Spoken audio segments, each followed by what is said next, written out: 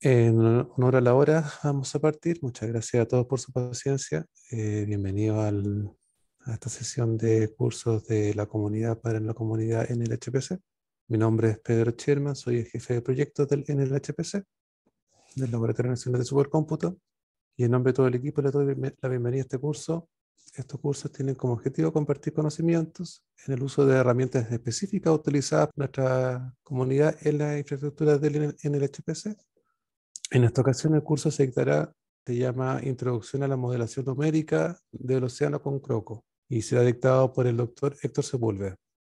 Héctor es profesor asociado en el Departamento de Geofísica de la Universidad de Concepción y ha trabajado durante más de 15 años en temas de modelación numérica del océano, incluyendo el uso complementario de modelos de atmósfera y oleaje. Por supuesto, agradecer desde ya a Héctor por su tiempo y predisposición para dictar este curso en nuestra comunidad.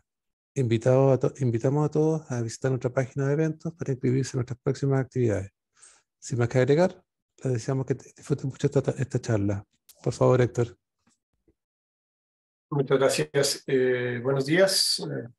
Eh, bueno, la, la idea de este muy breve curso es hablar de una herramienta útil para lo que es el el estudio de la oceanografía, nuestra herramienta numérica, y que además está dictada en el marco de, del en el, en el HPC, puesto que es una herramienta que ya está incorporada entre la, por así decirlo, la oferta de, de software que tiene este centro de cómputo. Para nosotros como Departamento de Geofísica, en nuestras labores de investigación, es muy, muy práctico tener una máquina en la cual ya las cosas funcionan, tenemos todo instalado y no está de más decirlo, el, soporte es muy bueno, que siempre se agradece. La, habilidad para resolver, problemas es bastante, bastante buena. Eh, bueno, el, como se decía, mi, mi área de trabajo principal es la oceanografía física en particular desde el punto de vista de la modelación numérica. Y eh, Croco es una herramienta que se usa para modelación numérica, es un código computacional bastante, bastante moderno, que se usa para entender la circulación oceánica en principalmente a escala regional, eh, más hacia escala, cada vez más hacia la escala costera. Eh, y un poco menos, aunque técnicamente es posible, pero no es la línea fuerte de trabajo, a una escala más. Podría, podría llegar a, creo, implementarse esta línea, pero para eso existen mejores modelos más eficientes. Eh, es un, modelo eh, desarrollado principalmente en Francia, eh, por un grupo de, bastante amplio de investigadores. Esta es la página web donde ustedes pueden encontrar toda la información de, del modelo. Es crocoocean.org. Y en este momento, bueno, si van a la página, ya estamos en la versión 1.3. Aquí dice 1.1, pero pantalla es antiguo. Eh, la, el origen de este modelo es, este modelo es un derivado de lo que también es un modelo francés, desarrollo precisamente francés, llamado Rome Sagrif. Eh, y además incorporó mejoras de otros modelos de la comunidad francesa, entonces hubo una decisión a nivel de comunidad de integrarse, de juntar las mejoras, las principales características de cada modelo en, en uno común, para no, no tener seis grupos de investigación como podían llegar a tener, o por dar un número donde había pocas personas en cada grupo. Entonces, se trata de hacer algo más, más común. Eh, y este ROMS Gris está basado en el otro modelo muy conocido, el modelo ROMS, que está basado en la Universidad de Rutgers, y una de sus ramas, que es la Universidad de ROMS de la Universidad de Los Ángeles. Y además, para atrás, bueno, la, la historia numérica se basa en módulos como el Scrum, y eso ya son módulos que ya en la actualidad no, no tienen eh, mucho uso. Eh, la, como decía, en esta página ustedes pueden encontrar la, la versión más actual del modelo, el código estable, la última versión estable. Existe un repositorio en el centro de instituto asociado a lo que es cálculo numérico, desarrollos matemáticos en esa área, el INRIA. Tiene un repositorio GitLab, que es como el Gitfood, pero de código abierto, digamos, más, eh, software libre, donde ustedes registrándose pueden acceder a la última versión eh, del, modelo. Entonces, continuamente se están, se están implementando mejoras. Como les he dicho, es una comunidad bastante activa va a tener una reunión de usuarios ahora en noviembre en Marsella. Y aquí podemos encontrar eh, las, eh, los códigos más recientes. Aquí se puede ver que se habla de Croco y también se habla de Croco Tools. Croco Tools es una herramienta, una, una serie de rutinas en, en, MATLAB principalmente que fueron desarrolladas por la, el grupo de trabajo de, de Croco o de ROMS se llamaban ROMS Tools, se llamaban antes y que facilitan mucho lo que es la, la generación de los archivos de entrada y el análisis de los archivos de salida de, de Croco. Eh, hay un esfuerzo actual por transformar estas rutinas a Python. Es un, con la ventaja que no hay que tener una licencia de MATLAB, eh, pero esto está todavía en desarrollo. Eh, bueno, desde ya, por favor, si, si hay alguna consulta, alguna, alguna duda, eh, prefiero que vayamos haciendo de forma interactiva. Así que levanten la mano y, y pregunten. Eh, bueno, creo que TUS es una, una razón muy importante por lo cual en, en, lo personal, sin, sin haber estudiado en Francia y sin haber eh, crecido en esa comunidad, empecé a usar este modelo. Eh, otra ventaja bastante interesante, o sea, de este modelo tiene un foro de preguntas donde ahí eh, eh, uno puede ponerlas, está en inglés, digamos, pero ahí uno puede poner sus preguntas y responder las cosas que vaya entendiendo. Y hay un nivel bastante desarrollado de documentación lo que es descripción del modelo, características, es, eh, todavía se puede ser mejorado, pero bueno, también hay, bastante disponible. Es un modelo que funciona en sistemas eh, Linux, está basado en Linux, y uno de los aportes, digamos, una de las cosas que nos llevó a integrarnos a esta comunidad eh, fue el haber desarrollado una, una herramienta que se llama Live Crocos, que se llamó Live ROMs en un momento, en la cual es una máquina virtual eh, bajo la plataforma VirtualBox. que tiene ya eh, Croco incorporado. Baja, instala esto y lo puede instalar en un, computador personal con que tenga Windows o que tenga Mac, no, no, hay ningún problema.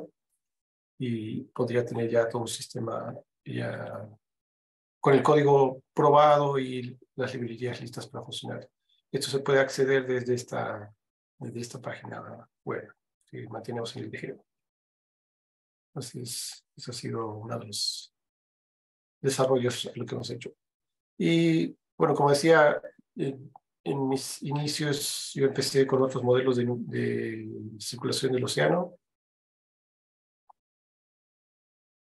Empecé usando un modelo llamado POM, luego aprendí un modelo de FICOM, pero yo creo que es la, un poco la, la comunidad, eh, la, la, cantidad de herramientas eh, disponibles para trabajar que me facilitaron mucho más la vida para usar este modelo que continuar con los que ya conocía. Entonces, eh, me parece que es un modelo, tiene un buen balance en lo que es capacidad o poder computacional, poder de resolver de aplicaciones reales y, amabilidad, lo que es facilidad de uso.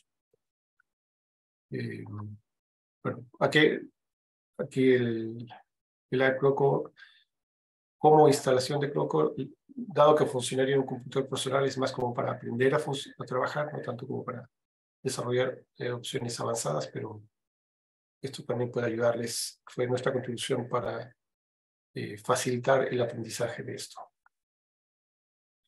Y bueno, a ver, como ya como definición más técnica eh, de qué es este modelo, hay un artículo ya,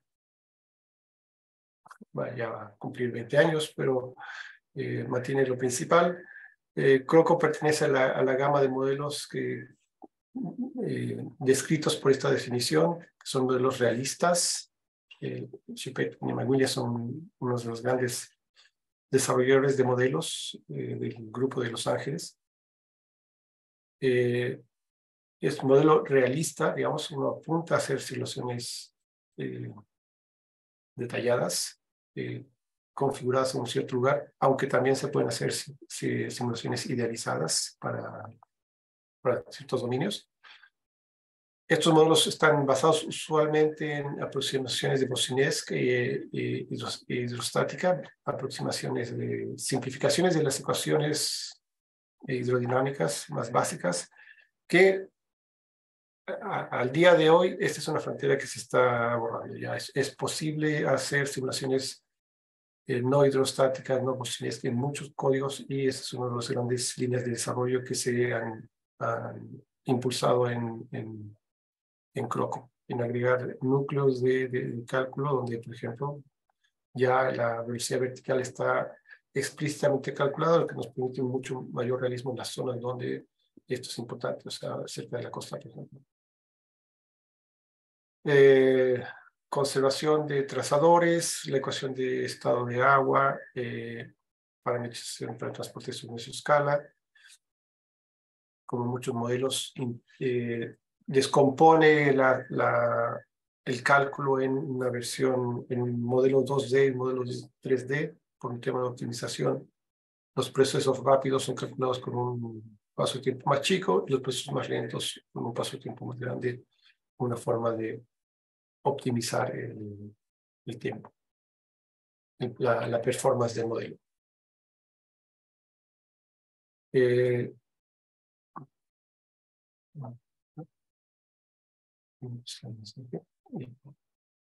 ya tiene, eh, tiene ecuaciones de conservación de momentum para U y B, en la parte, la aproximación hidrostática para el, el, digamos, el cálculo de W, aunque esto ya puede ser, eh, eh,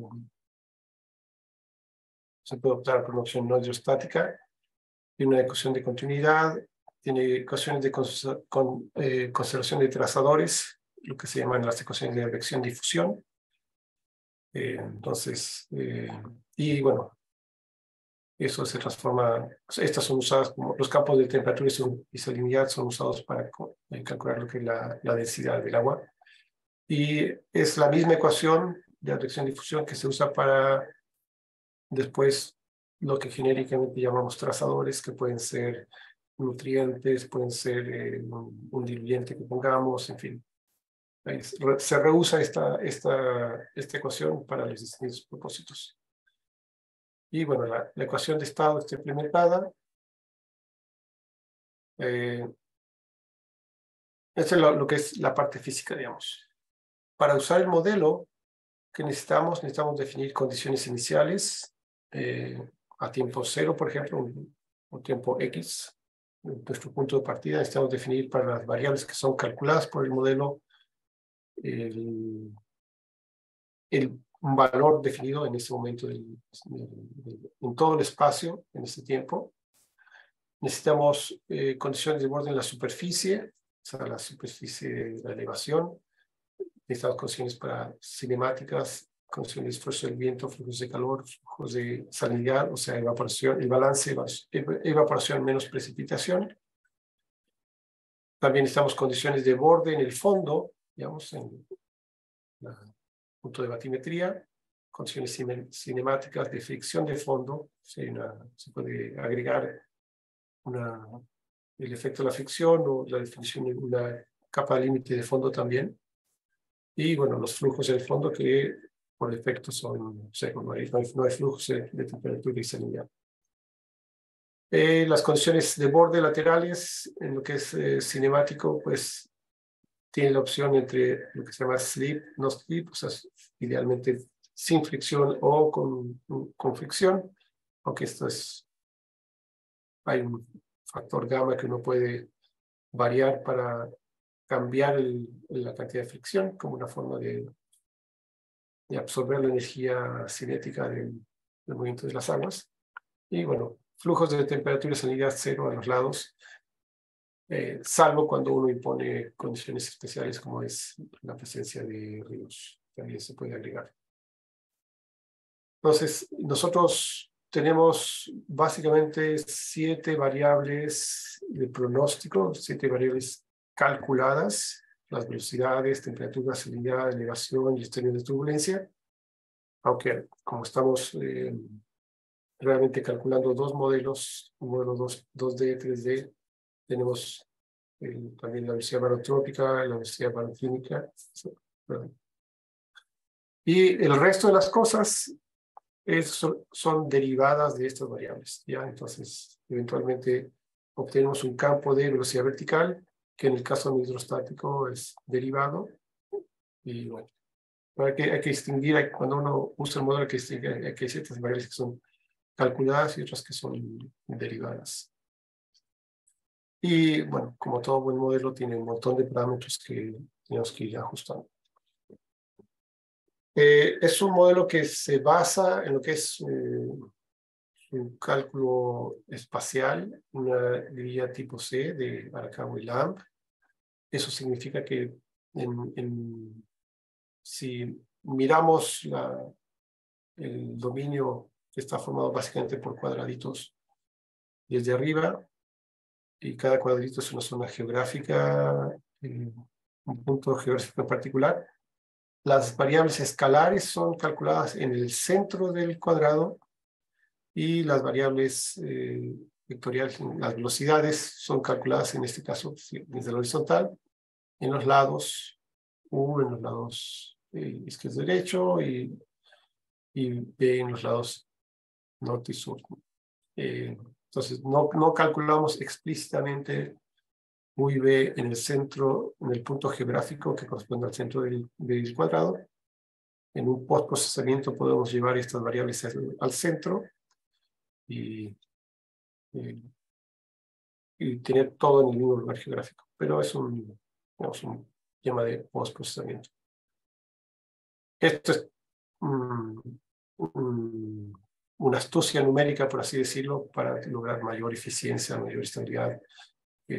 conforme avance el poder computacional, capaz que se va a volver más irrelevante, pero es una forma de calcular. Una forma de calcular la, la, física, la física se mantiene, pero se calcula así para una mayor eficiencia. Eh, en la vertical tenemos algo muy parecido, solo que, como ven acá, la, la, mayoría de los cuadrados, los cuadrados parecen ser todos iguales, pueden ser prácticamente iguales, pueden cambiar muy ligeramente, no, son, no es tan flexible como modelos de guías no estructuradas, pero podrían potencialmente disminuir un poco el, el tamaño ser más chicos cerca de la costa, más grandes lejos de la costa. no, es, no es muy común eso, pero es posible técnicamente.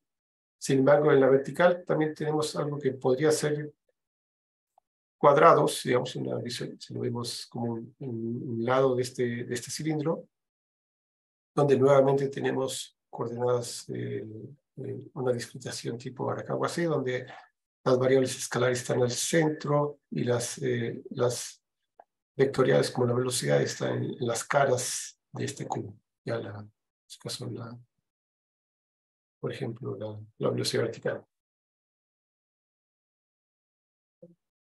La gran diferencia es que con lo horizontal es que hay un cambio notable en el ancho de estas, de estos cuadrados, que digamos que es la altura de, finalmente del, cubo que representa cada celda. Y nosotros podemos variar el tamaño, y es, lo más normal es variar notablemente el tamaño entre una zona y otra. No, usualmente con el criterio de poner una mayor, eh, mayor cantidad de de celdas en, el área que nos interesa, por ejemplo, en la superficie, que sería acá, y, y celdas con un mayor tamaño, píxeles más chicos, en las zonas donde la dinámica no es tan, no es tan importante para nuestro propósito científico. Esto se puede hacer de muchas formas. Hay lo que se llama la coordenada Z, que usan modelos como el NEMO, que es un modelo también europeo de aplicaciones más planetarias, donde eh, la, la, ubicación de estas capas se basa en base a la profundidad. Eh, Croco y como muchos otros modelos usan una variación de lo que en el momento fueron las coordenadas sigma. Sigma se refiere a que sigue el terreno. Entonces aquí, aquí tenemos la diferencia, por ejemplo, en la coordenada Z aquí tenemos, no sé, 20 cajitas y aquí tenemos 40. En el caso de las coordenadas tipo sigma, aquí tenemos 40 niveles y aquí también tenemos 40 niveles. Entonces, el ancho de esta, por ejemplo, de esta capa más baja eh, va a variar según la batimetría del lugar. Aquí puede ser de metros y aquí puede ser de decenas de metros. Es lo que se, una coordenada que se estira, que, se, que sigue la topografía, se llama. Esa es, la, esa es la, la forma clásica de hacerlo. Ahora ya hay un, como cada una tiene ventajas y desventajas, ya finalmente se implementa lo que se llama una coordenada híbrida, donde en la parte superficial se siguen coordenadas tipo Z y las partes más profundas se siguen coordenadas tipo sigma. Hay un, punto de transición. Pero lo importante es de entender acá es que podemos eh, cambiar la resolución vertical de nuestras celdas según nuestro interés. Puede que nos sirva más la parte superficial, puede que nos, sirva, nos interese poner una mayor resolución cerca al, cercano al fondo, por ejemplo. Todo depende de la pregunta científica. Entonces, como buen modelo, hay que adaptarlo, hay que configurarlo en base a la pregunta que queremos resolver.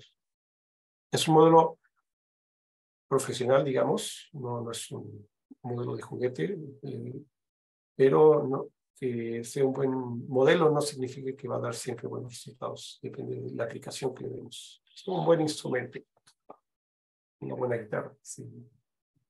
La calidad del instrumento no, no dicta, no, no supera la calidad del, del músico. Entonces hay que saber, hay que saber usar este instrumento. Y eso, bueno, es, es práctico. Ok, entonces, como le decía, eh, aquí está la página donde se, se detalla más esto. Hay varias opciones, hay tres parámetros que uno puede ir variando para decir cuántas capas quiere poner. Y como muestra este gráfico, podemos cambiar, distribuir, no sé, los niveles, se llaman niveles sigma que estamos haciendo, eh, según nuestro área de interés, si es solo la, superficie, si es las zonas de mayor pendiente, si la superficie y el fondo, en fin, como queramos. Y eh, por defecto el número de niveles está del orden de 32, podemos usar más, 40, 100 niveles. Es algo que tiene un impacto lineal en el cálculo.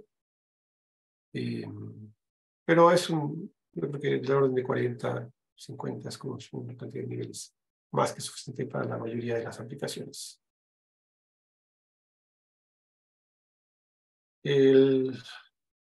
Una de las características de estos modelos que siguen la topografía es que para minimizar errores numéricos en el cálculo que es el gradiente de presión, eh, necesitan que la batimetría tenga una cierta suavidad.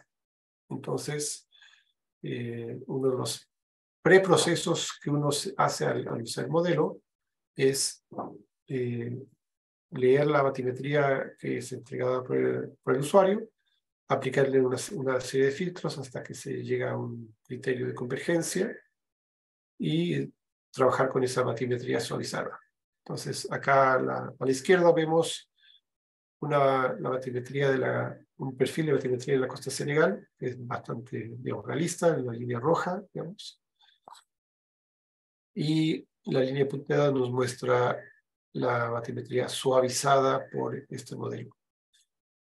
Eh, entonces, puede haber cambios que son significativos. Aquí no, no parece mucho por la escala, pero en un punto aquí, en este punto, por ejemplo, tenemos diferencias de 500 metros entre, casi 500 metros entre la profundidad real y la profundidad que tendría la batimetría suavizada. Entonces, hay que, hay que tener cuidado con eso. Eh, la solución más sencilla eh, a esto es, bueno, aumentar la resolución, en cuyo caso también se aplica el criterio de suavizamiento, pero dado que el espaciamiento entre las celdas es más chico, este filtrado tiene un menor efecto en lo que es deformar la, la, la topografía. Las zonas con pendientes importantes es los modelos que siguen la, eh, la coordenada sigma o sigma híbrida suelen tener eh, dificultades para representar bien lo que es las zonas profundas o las zonas de gran pendiente. Es una, una dificultad conocida en lo que es el, los modelos numéricos de coordenada sigma. Y bueno, la esperanza es que lentamente o con el avance de, las, de, la, de la capacidad computacional lograremos mayores resoluciones y esto no sea un, una limitante. Y bueno, pues, este es el, llamado error de gradiente de presión, que, se trata de, resolver a través de este, de este suavizamiento. Hay, hay, un caso muy, muy, un caso clásico de, para entender este tipo de problemas, si uno quiere desarrollar su modelo, aunque mi profesor de, modelación numérica lo primero que nos dijo en la clase más, más básica, no hagan su propio modelo. todo, el mundo quiere hacer su propio modelo. Eh, usen un buen modelo, ahí hay una comunidad detrás de eso, es un esfuerzo muy grande. Pero bueno, ahí, la experiencia hablando ahí. Eh, pero decía, bueno, en el caso que quisiera hacer su propio modelo, cuando alguien saca un nuevo modelo, uno de los eh, eh, test clásicos para ver si hay un, error numérico en la forma en que se calcula. Por ejemplo, he visto impresión es tener un dominio cerrado con una montaña submarina dependiente pronunciada y dejar el sistema calculando, el código calculando en condiciones en que no hay ningún forzante. Que hay un perfil estable, un perfil vertical estable, que no hay viento, que no hay radiación, fronteras cerradas y donde, debido a que no hay un forzamiento externo, no debería pasar nada. Los errores numéricos de este, de este tipo en, ese, en esas configuraciones se manifiestan de forma que después de un número de pasos aparecen corrientes en los, en los bordes, en, los bordes de la montaña, en las zonas de pendiente pronunciada, aparecen corrientes espurias producto de este, este cálculo numérico. Okay. En otros, eh, en otros casos podría ser error de, redondeo, aquí sería un error debido a eh, este cálculo. Eh, estoy viendo en chat.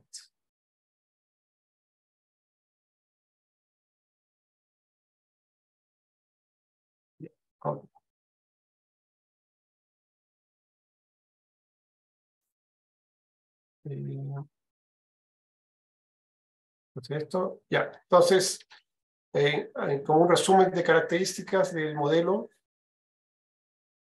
podemos decir que tenemos una grilla horizontal, una grilla vertical. Eh, es un modelo que tiene lo que se llama tiempo separado por esta configuración 2, 2D y 3D, pero eso ya es como son como las entrañas del modelo. En, el uso, uno para uno es transparente. Es modelo de superficie libre, entonces tenemos cambios, tenemos cambios en las superficies no a nivel de oleaje, pero en cambio en superficie. Tiene esquemas numéricos de advección bastante avanzados. Eh, es posible usarlo para acoplarlo con modelos de atmósfera.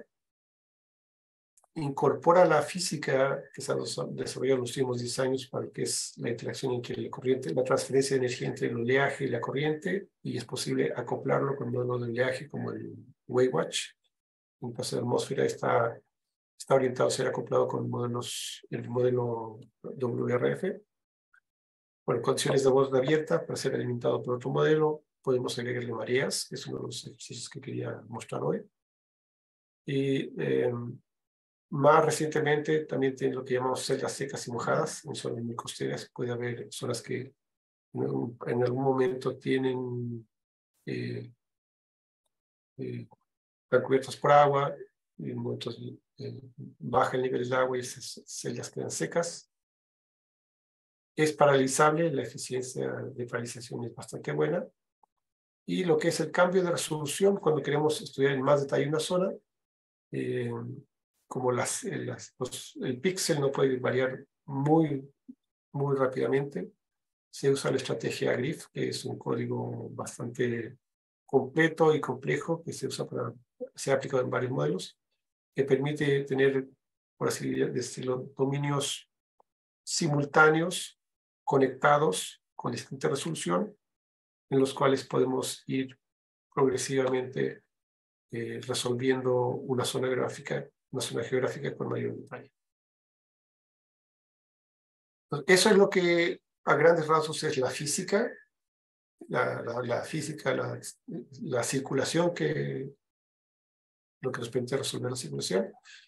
Eh, como complemento, digamos, en forma eh, anexa a, lo que es la física, tenemos dentro, de, dentro del, del código de Croco modelos biogeoquímicos. O sea, podemos calcular eh, nutrientes, podemos calcular, por ejemplo, el oxígeno que hay eh, disuelto en el agua a través de varios, varios modelos. Hay modelos muy sencillos, NPZD o N2, P2, o sea, eh, un poco más complejos, eh, y modelos ya más especializados, como es el BioEBUS, un modelo hecho para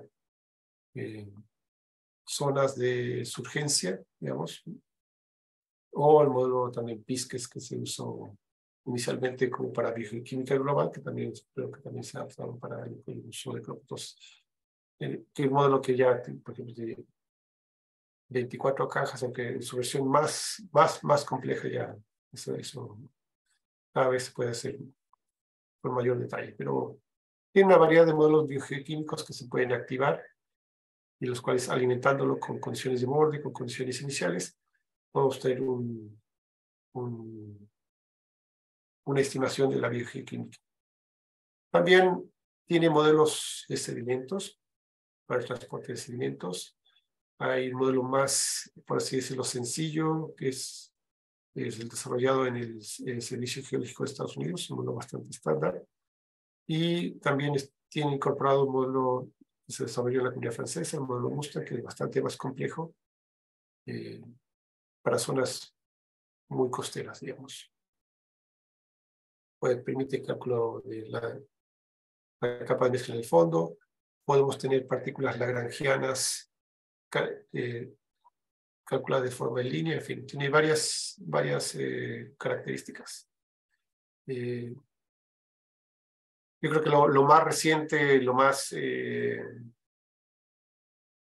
boga, digamos, o bueno, lo que, más, lo que más me ha llamado la atención y en lo que es el desarrollo es el, el fuerte avance en lo que es el acoplamiento con modelos de atmósfera océano. Todos los códigos que se han implementado para poder correr en simultáneo esos tres modelos, de tener la circulación, el oleaje y la atmósfera, más el, el modelo que acopla, que coordina estos otros tres, en simultáneo, pero eso es como la forma más, a lo que se está apuntando, pues es la forma más correcta físicamente, porque tenemos una actualización en tiempo real de, las variables físicas. Así que es como el, gran resumen de las características. Eh, y en la parte práctica, eh, cuando uno trabaja con Croco, tiene que entender, digamos, ¿Cómo, cómo se usa este modelo? Hay, para lo que es, lo, que es archivos de entrada, hay un archivo clave eh, para MATLAB que se llama el Crocotools Param, el Crocotools. Eso nos permite configurar la zona y hacer los archivos de entrada automáticamente. en lo que es el código, sí, el, cálculo del modelo, hay un archivo que se llama el es el archivo que define cuál es la física del modelo que va a tener, cuál frontera va a estar cerrada, si, si por ejemplo, en la costa chilena típicamente la, la frontera este la tenemos cerrada según la zona que estemos estudiando. Eh, a diferencia de modelos como el WRF, eh, Croco cada vez que cambiamos la física hay que recompilar. No es que uno active o desactive ciertas opciones, sino que uno eh, solo activa lo que va a usar. Y bueno, esa es una decisión de programación que, que, que se hizo en la comunidad y así, así funciona.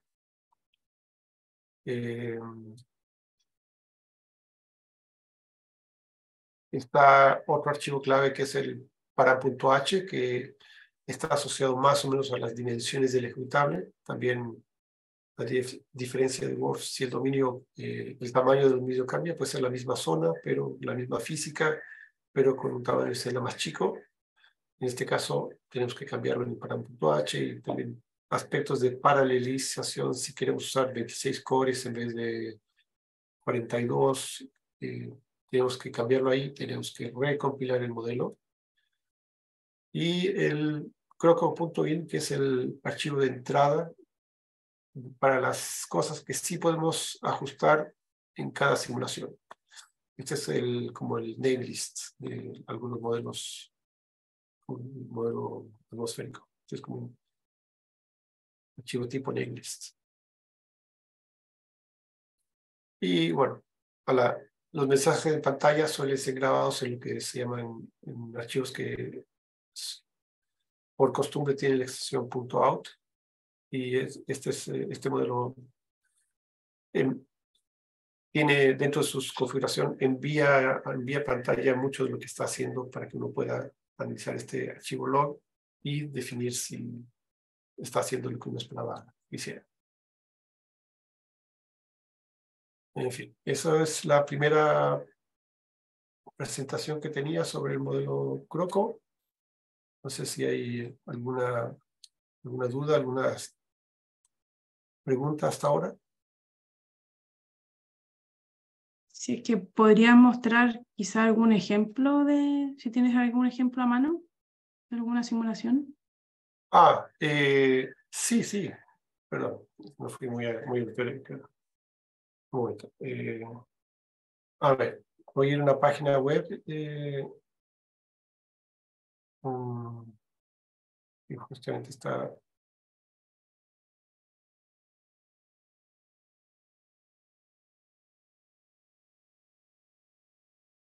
¿Ven ahora la, la página de Chonos? si se ve la página de Chonos, la sección aplicaciones. Ya, ok. Entonces, eh, en este sistema, digamos, hay, Chonos es algo bastante más complejo. Dentro de, de, esta aplicación existe el componente MOSA, que es eh, el, el, modelo de circulación para la zona de estudios de, de GLIFOP y que en este minuto lo tienen ya ampliado a dos zonas la, inicialmente hicieron un modelo eh, orientado aquí, como se ve, a la región de los lagos y Aysén, con, con esa cobertura espacial que se ve en el, primer cuadrado.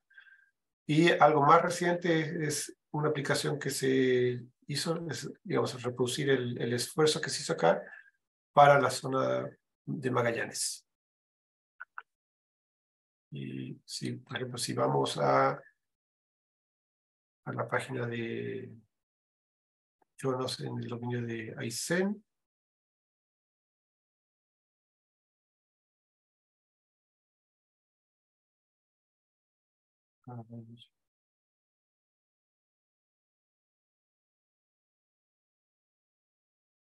esto me está tapando el que quiero.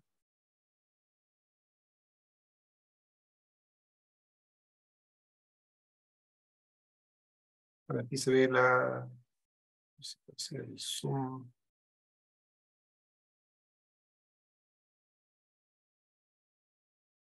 ¿Todas esas simulaciones se hicieron con Croco? Sí, esta simulación, este es un sistema de pronóstico que hizo, esta, que corre operacionalmente, o sea, todos los días el IFOP para esta zona, y la cual se hizo un dominio de cada píxel que se casa con ahí tiene un tamaño aproximado de 1,2 eh, eh, kilómetros y con esto se, se apunta a resolver la circulación con esa escala eh, de esta zona. Entonces, es una aplicación que hasta ahora ha funcionado bastante bien. Hay varios trabajos de, de validación ahí eh, y la resolución con la cual se trabaja, eh, digamos, a veces no es, no es la más adecuada, pensando que, por ejemplo, aquí en el canal de Chacao tenemos a veces, aquí tenemos apenas dos celdas, pero es la resolución que se puede trabajar con los recursos computacionales actuales. Eh, me gustaría, oh, voy a reclamar que no se alcanza a la la barra para cambiar la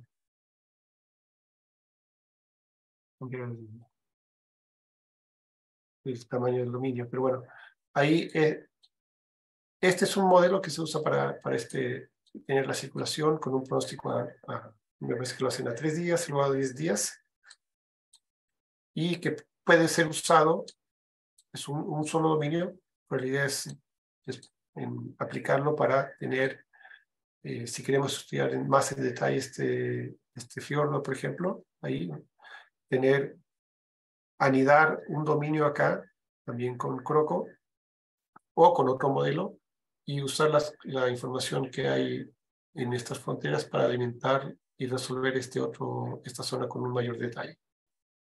Tiene una estructura 3D que podemos ver acá. O sea, aquí tenemos un perfil vertical de temperatura, en este caso. Tenemos una serie de tiempo. O sea, es, es un modelo en ese sentido totalmente bastante detallado. No, no. No, eso, eso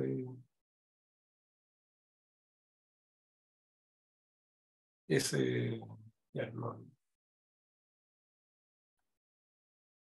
Ahí está. Y vamos a ver, ir al dominio de mm, Magallanes, que es bastante... Esta simulación lleva ya este, casi cinco años andando.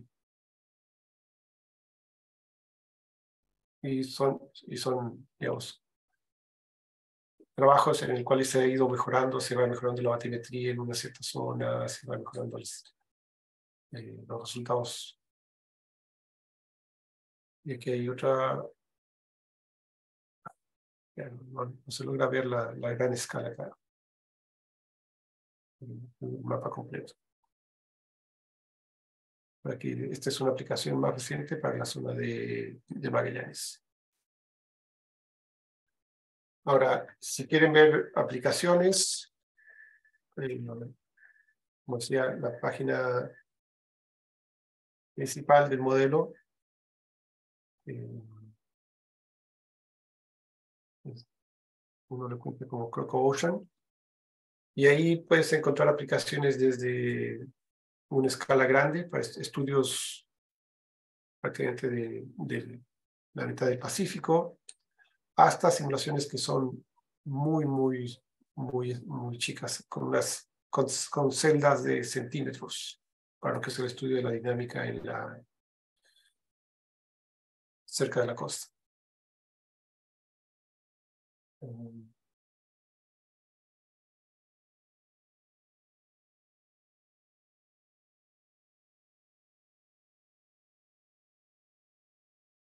Está la, la, la documentación.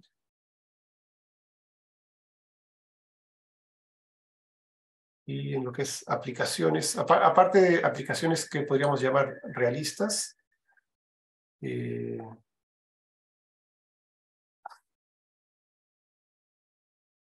son que se llaman los casos de prueba. Hay varias eh, aplicaciones que son más, eh, que apuntan, que fueron hechas para, para ver el correct, la correcta implementación de, numérica, eh, pero hay, hay aplicaciones muy costeras que apuntan a las corrientes de retorno en la playa, por ejemplo, que llaman en inglés las rip currents.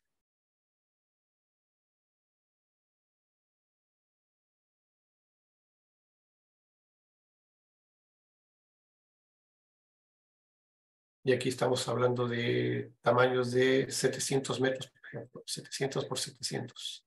Cuando una celda de este modelo de Aizen era un kilómetro por eso, aquí tenemos todo el dominio que sea es de, básicamente 750 por 750, entonces las celdas son más chicas.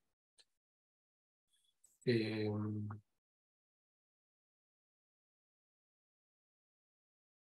hay uno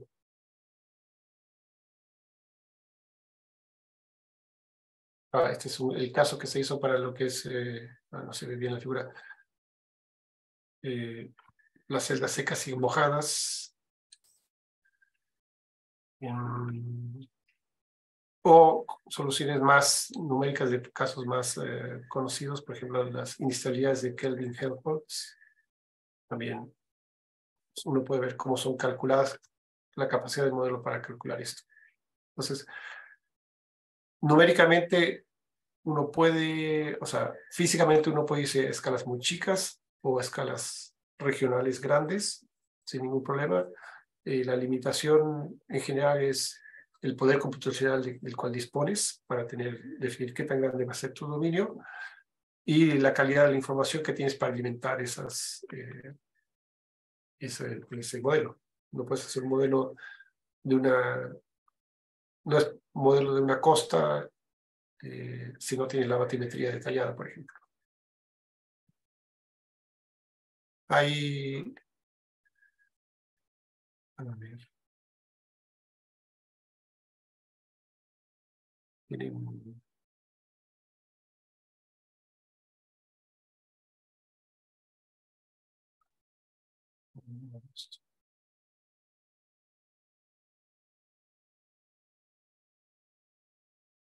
En YouTube uno puede encontrar eh,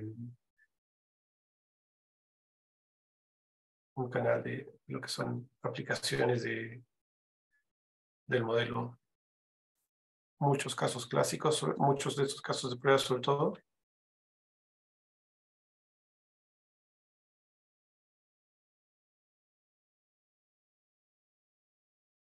Eso no, no son casos realistas, pero digamos, a lo que apuntas es a lograr que mostrar que la física está bien, bien representada. Este es el caso, decía que es como físicamente muy interesante.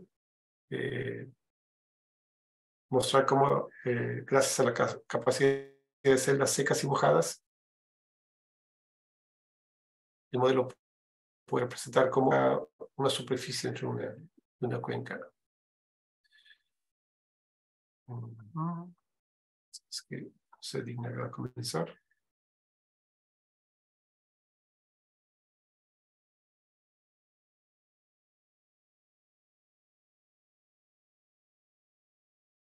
Este es el nivel del agua, la línea negra es el, digamos, nuestro, nuestro vaso y el modelo puede representar las, eh, la oscilación de la superficie y ahí, entonces la idea es que en las paredes de, esta, de este vaso, por así decirlo, hay momentos en que hay agua y hay momentos en que no hay agua.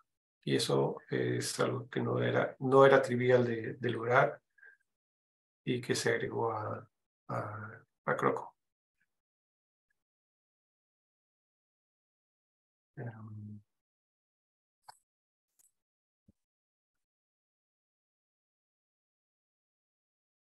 Uh, okay, okay, hay otros, hay hay varios otros modelos ahí. Por ejemplo, hay, hay un estudio.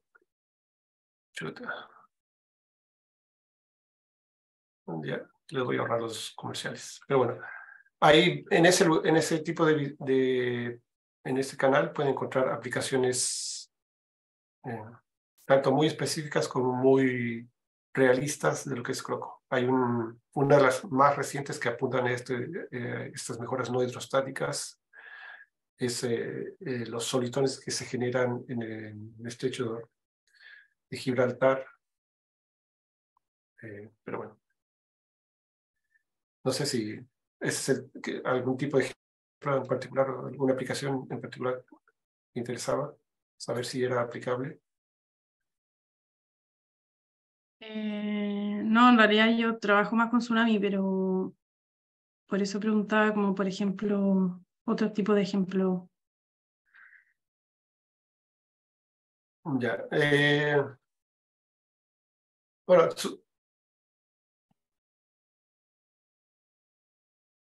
tú tienes, el modelo, el modelo Croco eh, tiene la capacidad de representar la superficie libre. Entonces, si tú tuvieras un dominio grande, eh, y, implementas una perturbación de, esta, de la superficie de, de este dominio, por ejemplo, del Pacífico, y le, le, como condición inicial pones una perturbación, esa perturbación se va a propagar como si fuera un tsunami, pero no es el mejor modelo para eso, digamos.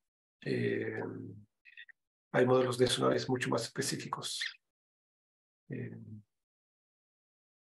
tú podrías usar Croco, por ejemplo, acoplándolo con un modelo de oleaje para ver el efecto eh, de las corrientes y el juego de las corrientes y el oleaje o la marea cerca de la costa y ver si eso cambia la propagación que uno espera de lo que es eh, la onda del tsunami.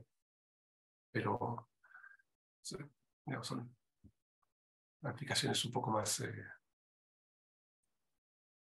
más novedosas, no, no los he visto hechas así muy, muy recientemente.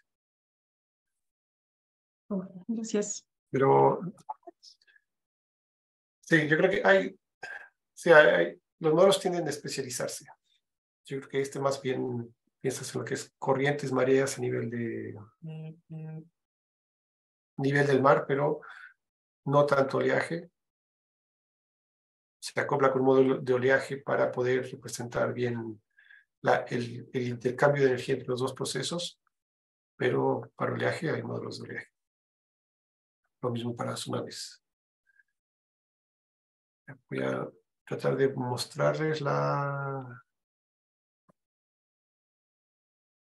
la segunda presentación. Sí, luego que se escoge esta máquina.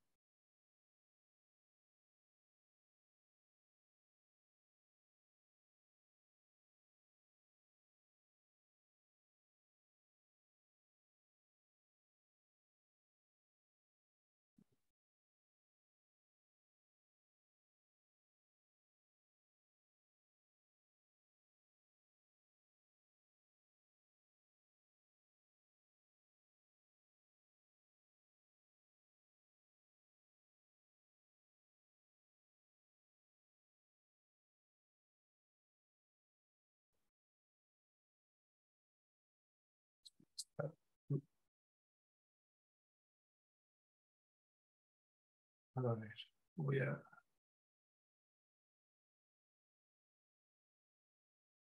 siento acá. Que ese navegador se congeló.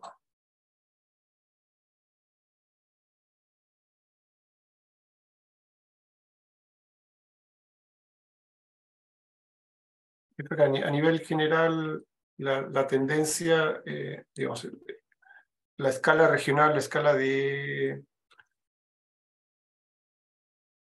de kilómetros, de varios kilómetros, ya, ya está bastante resuelta por este y muchos modelos. Eh, físicamente, lo que se está trabajando en la mejora de estos modelos es acercarse cada vez más, a la costa de forma más eficiente. Entonces ya incorporar el, el, el, el uso con otros modelos como los modelos de oleaje en las zonas donde la profundidad es menor a 10 metros es mucho más importante el aporte de energía del oleaje cuando está presente que las corrientes.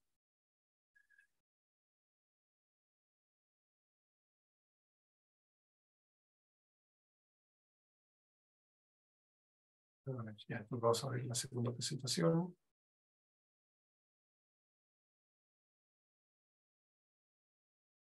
Hola, Ah, acerca de lo mismo Sí. que, pla- que planteas, eh, ¿cuál, cuál es el límite como razonable de profundidad en el uso? ¿Hasta dónde podría llegar en, en- en la zona costera? Es decir, ¿es equivalente a modelos eh, como de Usinesk, o sea, como el Fanway, ponte tú, el Mike eh, 21BW? Eh, yo creo que, ah, no sé si ya lo han logrado, pero para allá apunta, hay, hay una serie de casos de prueba donde eh, logran reproducir de forma bastante eh, certera eh, tanques de oleaje. O sea, como decía, las escalas de- donde las celdas son de, de centímetros. Eh, entonces yo creo que no es el, la mayoría de la gente no está usando, no lo está aplicando para eso, entonces, eh, y no es el foco inicial del modelo, pero eh, diría que sí, pero falta experiencia de cómo hacerlo, cómo llevarlo a la práctica. Yo creo que la, física está ahí, lo que puede faltar está, es eh, una forma fácil de incorporar los, los, datos o de configurar el caso, una forma fácil de implementar ese caso. Y gente que tenga experiencia en el uso de Croco para esa aplicación.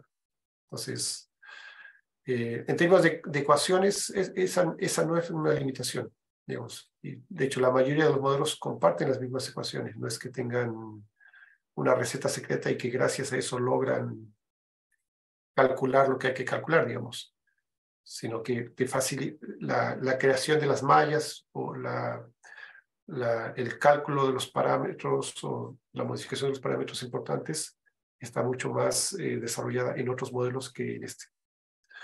Eh, pues yo creo que se podría hacer, sospecho que no es fácil, que no es trivial, porque hay poca gente trabajando en eso y si algo falla y de repente eh, a quién preguntarle, no, eso puede ser más, más limitado. Pero ah, es- están, esa es una línea de trabajo, acercarse mucho, mucho a la costa y hacer eh, ajustes tipo remover las restricciones bocinesque y hidrostáticas.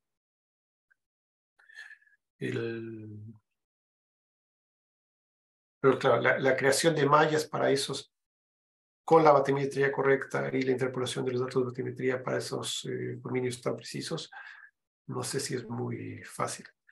Pues, se convierte en una limitación de empezar a usar el modelo más que usar el modelo. Eh, a ver, ¿cuál es el?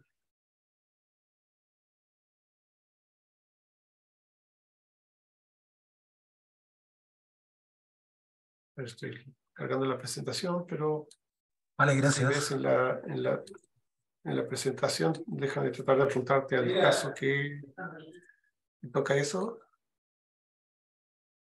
O sea, sí pilló unos casos en que hay, Eh, en que hay mallas de, de centímetros. Claro, de hecho, hay uno que Exacto. de eh, un centímetro. Sí, el, el, el caso de prueba que se llama tanque.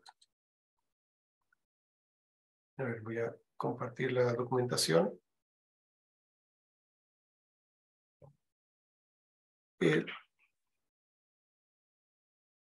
como decía del principio, o sea, hay modelos que son muy buenos, hay varios modelos que son muy buenos. Eh, hay, hay algunos de ellos que no son muy amigables. Entonces, esa es la limitación para usarlos, la, facilidad de uso, no la, la capacidad del código.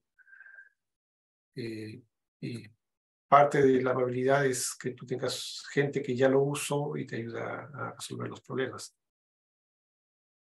Pues, Este, este caso, el caso tanque, es un caso donde ah, se puso a prueba el, el código no hidrostático. Es un caso dos dimensional, una, una onda estable eh, de 10, un, un tanque de 10 por 10 metros. ¿Ya? Y tienes 20 centímetros en la horizontales. Hay, un caso más detalle que es, más, detall- más deta- detallado que esto.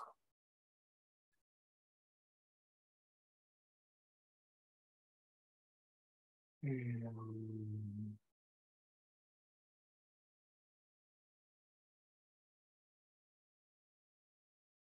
Pero bueno, diría, diría que sí. Diría que puede llegar así. No creo que sea el mejor modelo para eso, pero llegado el caso puede llegar a configurar un, un modelo así comparable. Lo, lo que quiero mostrar ahora en esta segunda presentación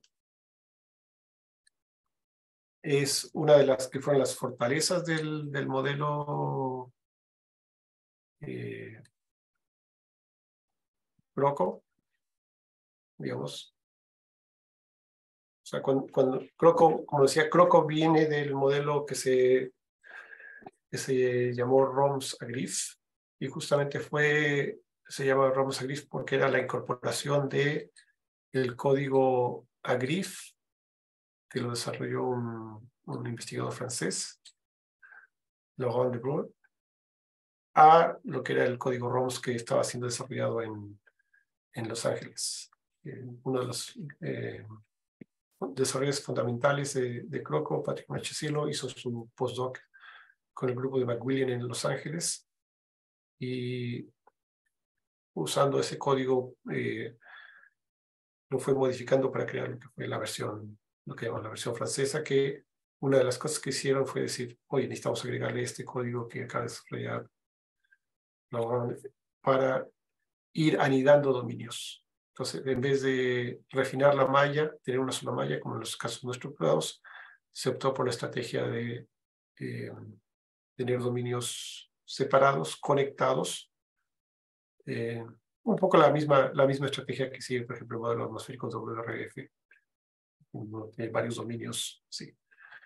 Y eso, les, eso fue una gran ventaja para hacer simulaciones más detalladas y ya está presente en muchos otros modelos, pero por varios años una, una ventaja importante de ROMS Griff versus, el, por ejemplo, el ROMS tradicional, que no, no desarrolló inicialmente tan, de forma tan eh, avanzada lo que es el anidamiento de dominios.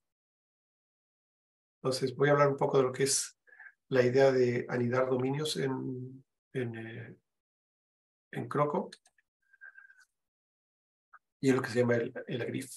Eh, el, el agrif es un código paralelo que es casi tan grande y tan complejo como Croco mismo y ya es parte de, se puede usar de forma separada o de forma conjunta y es un código que es, es, no solo es parte de, de, de Croco, sino de otros modelos, por ejemplo, Nemo. Entonces, la idea es que, digamos, el problema a resolver, que tenemos necesidad de, de, de, de simular dominios con mayor resolución espacial. Y en estas grillas, como las, llamamos grillas estructuradas, que podemos representar como cuadraditos, no es fácil hacer este cambio se puede hacer una cierta gradualidad, pero no es trivial. Eh, con Croco tú lo puedes hacer de dos formas, que se llama la forma en línea o online, eh, que estos dos dominios, tengamos un dominio grande y un dominio chico, sean calculados de forma eh, simultánea, o que, sean calculados de forma separada. A ver. Déjenme ir buscando un ejemplo.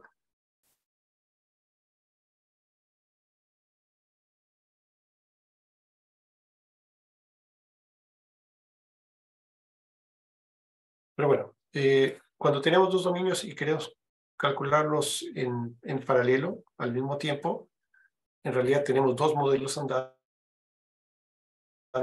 Eh, había dos formas de hacer este cálculo, lo que se llama one way o two way, o sea que el dominio grande le da información al dominio chico, nada más, y two way es que haya una retroalimentación entre los dos dominios. Eh, ya ahora que hay un intercambio de información en los dos sentidos es prácticamente algo que es por, por defecto, ¿no? No hay, no hay ventaja en, solo alimentar el dominio más chico, no hay una ventaja computacional. Es más complejo de implementar, pero ya esto ya es algo realizado.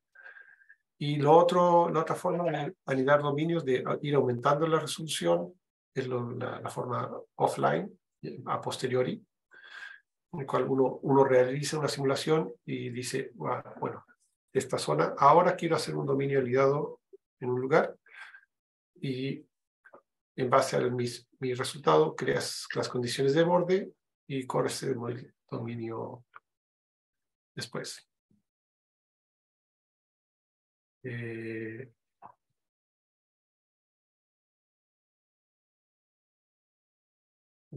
tal vez un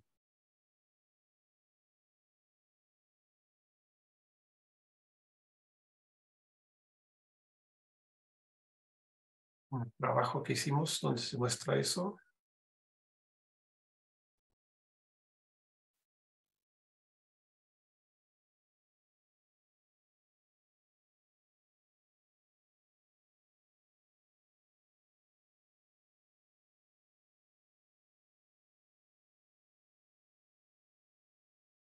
Entonces, este fue un trabajo que hicimos en 2007 más o menos. Eh, un poco en el mismo dominio de, de, lo que después donde el IFOP presentó su eh, tiene su pronóstico operacional. Entonces, en este caso hicimos un modelo oceánico eh, para la zona de, los lagos Aysén. Y lo que interesaba en este caso es, eh, era estudiar el, el, el seno de Aysén con mayor detalle. Entonces, para eso hicimos una, un dominio de 1,2 kilómetros acá. Y después hicimos un dominio más chico de 800 metros. No, 400 metros, me parece aquí era todavía el ROMS que estamos usando. Pero era justamente eso, tener un, un subdominio con mayor resolución que, que, fuera alimentado por el dominio más grande. Entonces, esto, este dominio grande actuó como un generador de condiciones de borde. Si uno, si uno quisiera ir directamente a resolver este dominio acá, a calcular en alta resolución eh, este dominio, se encontraría con el problema de decir, bueno, ¿y cómo, qué prescribo yo como condiciones de borde acá para la marea?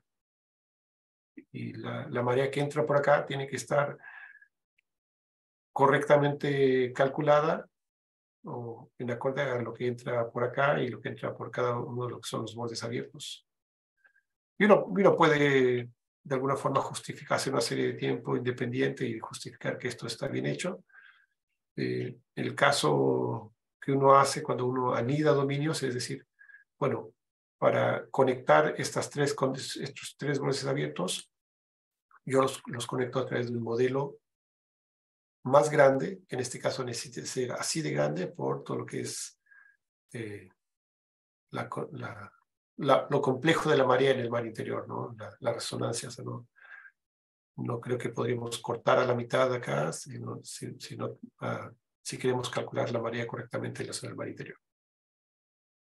Y por lo que recuerdo, en este, en este modelo hicimos una simulación offline, o sea, calculamos primero eh, el dominio grande, sacamos una serie de tiempo eh, de todo el dominio y luego eso lo alimentamos para estos dominios de mayor resolución. Eh, ahora, esto ya es bastante más común, digamos. Este, como decía, este trabajo lo hicimos en 2008, 2009, y como parte de otras eh, simulaciones estamos haciendo ya, en, e, seguimos trabajando en esta zona con, donde hay tres subdominios anidados y estamos bajando hasta resoluciones de cientos de metros para algunas áreas del mar interior, algún fiord, algún canal. Esto es lo que nos permite ir a hacer anidaciones telescópicas, por ejemplo, con cuatro, cuatro dominios, para llegar a resolver finalmente. Son cuatro dominios de los cuales probablemente únicamente el más chico vamos a analizar. Pero los otros tres nos permiten ir transicionando la física adecuadamente para que la variabilidad y las estructuras de estas zonas sean, tengan la, forma correcta.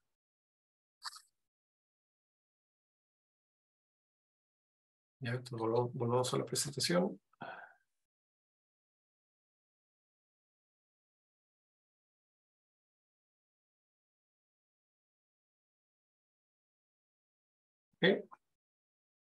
Entonces, eso es lo que en algún momento, y, yo creo que todavía es una gran ventaja de, de del modelo eh, Croco, que tiene una serie de rutinas y tiene toda la implementación computacional bastante sólida para que si tú quieres eh, resolver una zona con un gran detalle, básicamente vas anidando dominios hasta llegar a la resolución y que te interesa.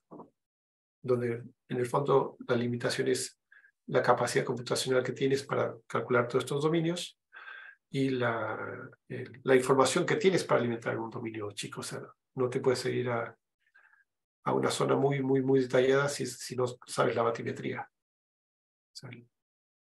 vas a tener píxeles chiquitos, pero vas a tener una batimetría que alimente ese dominio eh, de una forma irreal.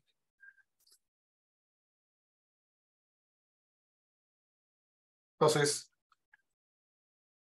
no es algo totalmente nuevo. Hay muchos modelos que resuelven este problema usando lo que se llaman las grillas no estructuradas. El FECOM, ATSIC, MIC3 es otro enfoque. Y la, la creación de mallas no estructuradas es sí es un gran, es un gran desafío, digamos, una buena malla no estructurada es mucho más compleja que hacer que una configuración, una serie de mallas eh, no estructuradas. Eh, en el, modelo FECOM, por ejemplo, comenzó como una versión del POM que estaba en mallas estructuradas hacia mallas no estructuradas. Eh, y en una reunión de, desarrollo de, de, Croco, yo pregunté, bueno, ¿alguna vez hay, hay, hay, hay, intención de hacer de Croco un modelo no estructurado? Y la gente que estaba a cargo de eso dice, no, no, no creemos en eso. Creemos que es más correcto hacer otro tipo de aproximaciones. Y hay una, hay una línea de trabajo que es la creación de, una, una, creación de, de zonas eh, anidadas de forma mucho más eficiente. Entonces, es, ha preferido otra línea de desarrollo para llegar a lo mismo, que es eh, llegar a más detalle a través de muchas, muchos subdominios eh, progresivamente más chiquitos. Como decía, la creación de las mallas no estructuradas es más complejo. En este caso es bastante más sencillo, pero bueno, es una cosa por otra. Eh, los modelos no es la única forma de conectar eh, mallas, hacer modelos anidados. Eh, en este caso, la opción que usa el Croco es conectar, eh, un, dominio tiene que estar completamente dentro del otro para intercambiar información. El código de Rons Rutgers ha decidido otra, otra línea de anidamiento en el cual tú puedes tener así como polígonos que se pegan, o sea, eh, rectángulos que se conectan sin estar completamente uno del otro, también es posible. Y bueno, es otra forma de ir conectando, por ejemplo, para ir conectar las ramas de un río y solo resolver esa parte del río para conectar. Hay, muchas formas de llegar a anidar. La forma de anidar que escoge el croco es esta, la forma agrif. Entonces, eh, Esto es lo que decía, el problema finalmente que resuelven todos estos modelos es cómo intercambias información entre cada uno, de los dominios y lo, lo decimos o lo hacemos al mismo tiempo. El one way, el dominio grande entrega al dominio chico, one two way, los dos intercambian información. Y en el caso encadenado, eh, uno genera la simulación de todo el dominio y después extrae en los bordes que define la información del dominio más chico. La desventaja de hacer un dominio encadenado está en que el dominio grande tiene que ser guardado con una alta resolución. Porque si queremos, en el caso que les había mostrado, si quiero propagar la señal de la María a este dominio del seno de ISEN, necesito guardar mis salidas del modelo de un área grande, al menos cada hora, y eso se vuelven archivos muy grandes que puede, puede llegar a ser una limitación. Cuando lo haces en simultáneo, como ambas cosas están siendo calculadas al mismo tiempo, eh, el intercambio de información es cada, cada, cierta cantidad de minutos, entonces es mucho más preciso y no hay necesidad de un almacenado de, de, de cada uno de los dominios. Entonces son ventajas y desventajas. Entonces, como modelo, Croco, que viene de Rom, heredó esta característica del Romsagrif, o sea, Croco es Romsagrif más otros modelos franceses como el Mars 3D, Symfony, Nemo, pero esto, esto vino de lo que, es, lo que ya estaba en Romsagrif. Permite anidar dominios de forma bastante, bastante más eh, amigable.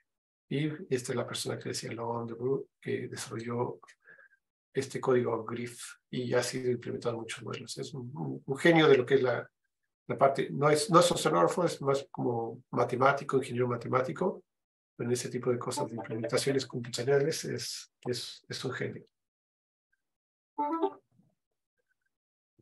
Y la forma offline, encadamiento que estaba llamando, hay em, el código que existe eh, más, el más popular se conoce genéricamente como ROMs to ROMs, podríamos llamarlo croco to croco, y ese se usa para, para tomar las salidas de un modelo y llevarlo a otro modelo. Y lo que, lo que estaba llevando como animaciones multidominio es lo que, la forma de tener dominios conectados.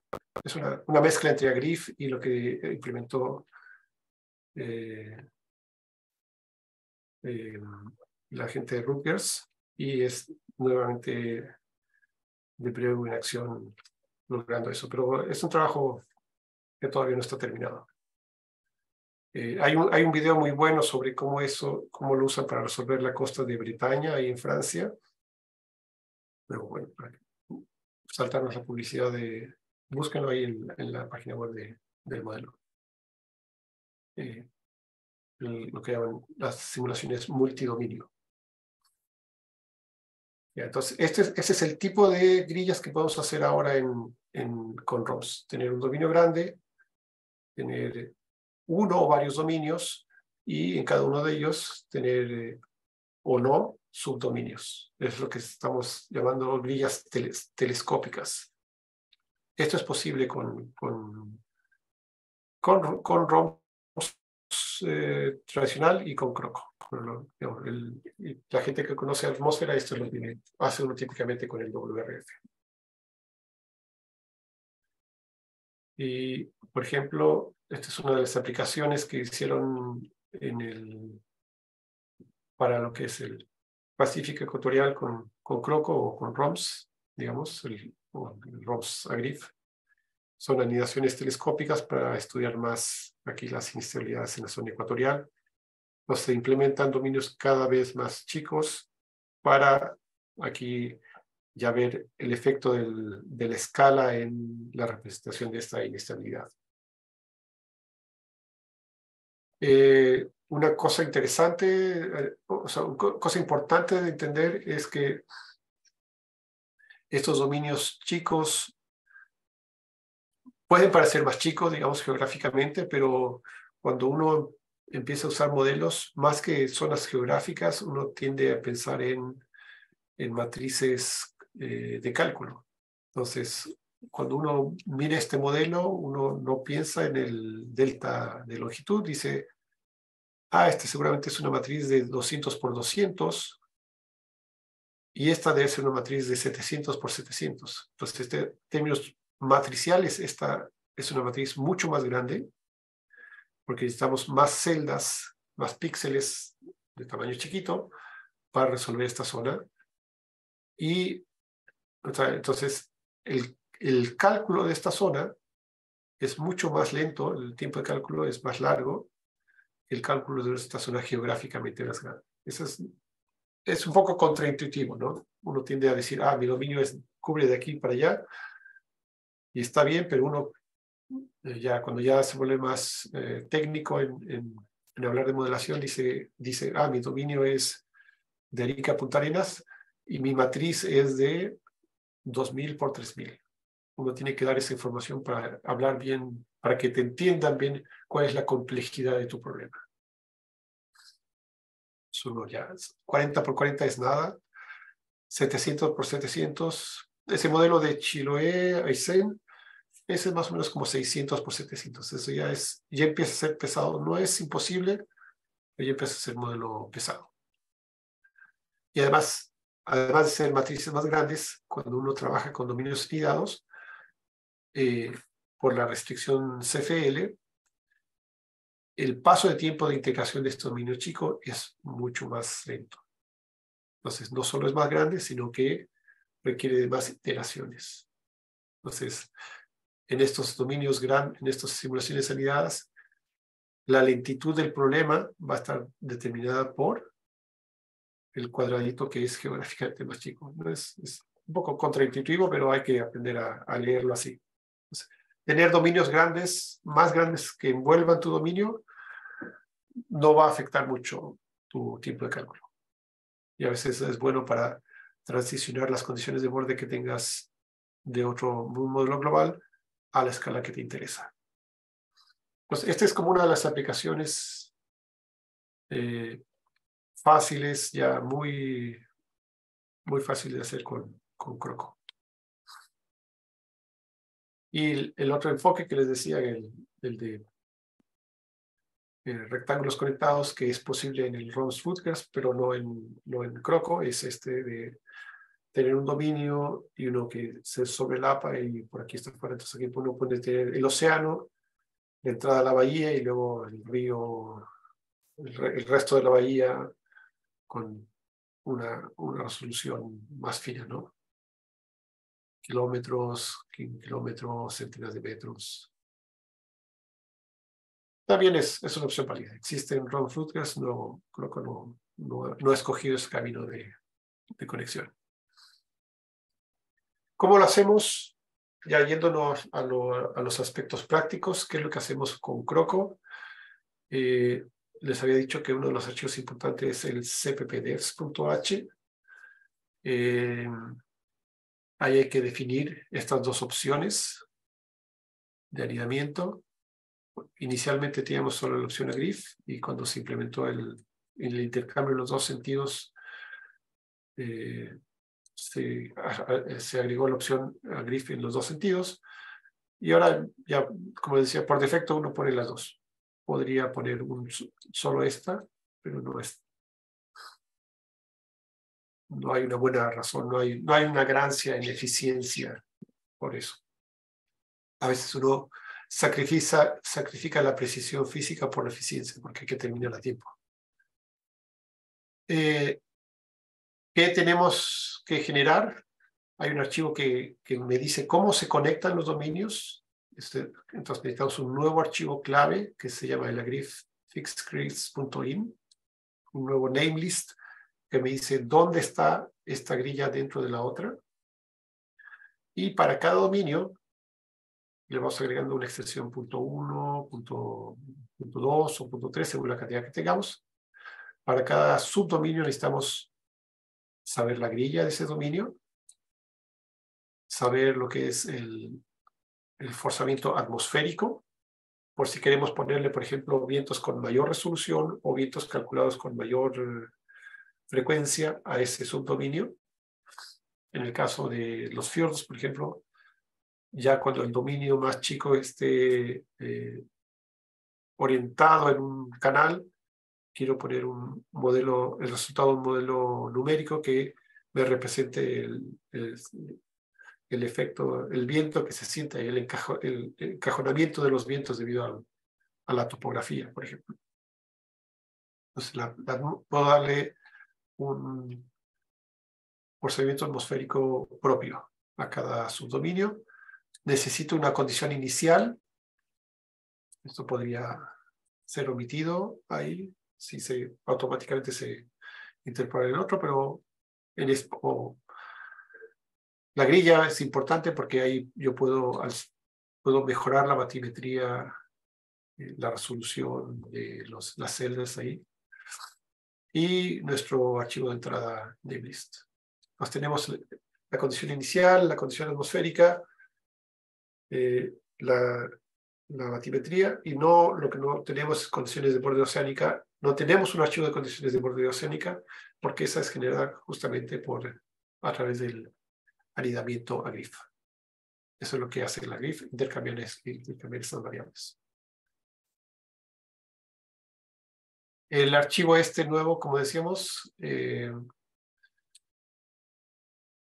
eh, se ve de esta forma. es un archivo de texto que tiene estos parámetros y te dice, bueno, que esto se lee así, dice, el dominio grande tiene un subdominio. Está ubicado entre estos dos puntos, entre el 17 y 33 en I y entre el 13 y 27 en J. Te, te dice, te da los puntos de la grilla.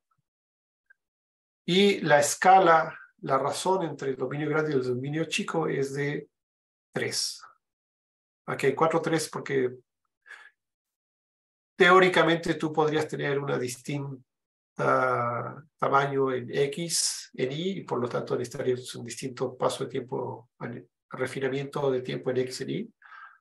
Eh, porque la grif, la está hecho para cosas mucho más generales que, que Croco, digamos, pero en la práctica uno repite el mismo valor en todos los casos. Y cuando anidamos acá, lo que típicamente es, eh, vamos de a tercios. Entonces, si este dominio es de 9, 9 por 9 kilómetros, tiene píxel de 9 por 9 kilómetros, este va a tener un píxel de 3 por 3 kilómetros y este va a tener un píxel de 1 kilómetro. Y bueno, ideal. Y este, como acá, va a estar alimentado por un dominio, seguramente alguna simulación global. Y la idea es que, bueno, esta también tenga una razón de ese orden, como de tres o cinco con el, con el dominio que lo alimenta. Entonces, por ejemplo, ya, ya existen modelos globales el modo reanálisis, el modo pronóstico, para eh, que tiene una escala de más o menos 10 kilómetros. Entonces, nosotros, si quisiéramos anidar una zona de la costa, ya este podría ser un tercio o un quinto.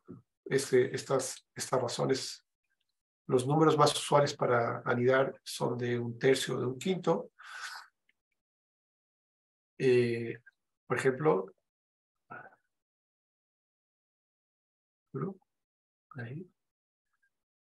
Este ya podría ser, ya podría mostrar de nuevo. Voy a terminar esto del, anidamiento y ahí pasamos a hacer una pausa.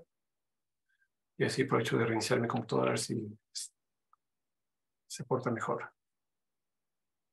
Pero bueno, les decía que ya no sé si alcanza a escuchar eso, que ya hay modelos globales de 10 kilómetros y eso nos permite ir anidando nosotros a, una escala de menos, ya no tenemos que recalcular las cosas a 10 kilómetros. Eh, este es el archivo de conexión. Eh, una de las cosas fantásticas que tiene Croco dentro de las Croco Tools es esta interfaz de anidamiento donde uno puede decir, ah, yo tengo este dominio, por ejemplo, Magallanes, y quiero hacer un anidado de mayor resolución en esta zona. Y luego, por ejemplo, con un colega que está ahí en Puerto Williams, queremos hacer un modelo del canal de Beagle, entonces de aquí anido, anido, y luego sigo anidando acá, hasta llegar a una escala que esté centrada solo en esa sección con una resolución adecuada. Hay una herramienta MATLAB muy buena, que es parte de CrocoTools, una interfaz gráfica, que me permite realizar este anidamiento y generar los archivos que yo necesito para eso. Ahora, esta, esta herramienta es una interfaz gráfica que llama rutinas y las rutinas se llaman así Nested Grid para crear la grilla, Nested Forcing para crear el, la parte atmosférica, el forzamiento atmosférico del siguiente dominio y Nested Initial para crear la condición inicial del nuevo dominio. Y bueno, eso es, eso es lo principal. Eh, este es el trabajo del... Fue, fue publicado en 2012, pero digamos, el desarrollo viene muchos, muchos años antes sobre el anidamiento en los dos sentidos de, de ¿ya?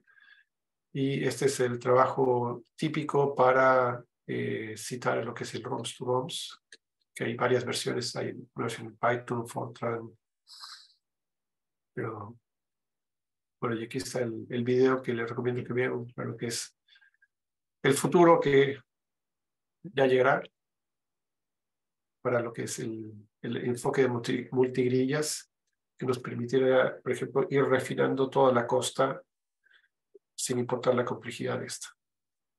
Claro, se puede hacer, va a tener la limitación que pasó cada zona es un modelo y va a requerir más poder computacional eh, para su desarrollo.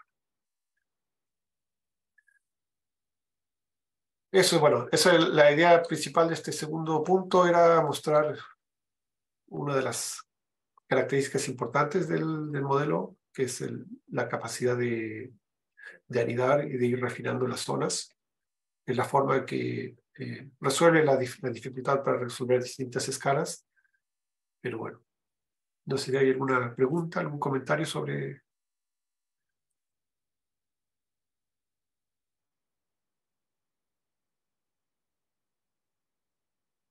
Ya, entonces, son prácticamente los 11, hagamos una pausa de unos 15 minutos, después de reiniciar mi máquina y nos volvemos a conectar. Eh, de ahí tengo planteado, tengo empezado una segunda presentación, una tercera presentación y hay, eh, hacer hay al menos tres tutoriales que podríamos hacer ahora. Pero tal vez eh, los dejamos para después de almuerzo y entonces hacemos una sesión de tutoriales en la tarde.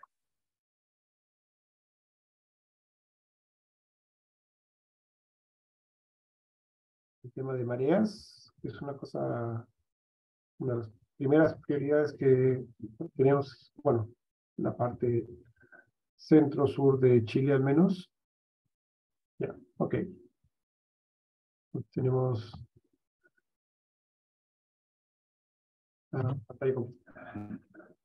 como le había mencionado, eh, la,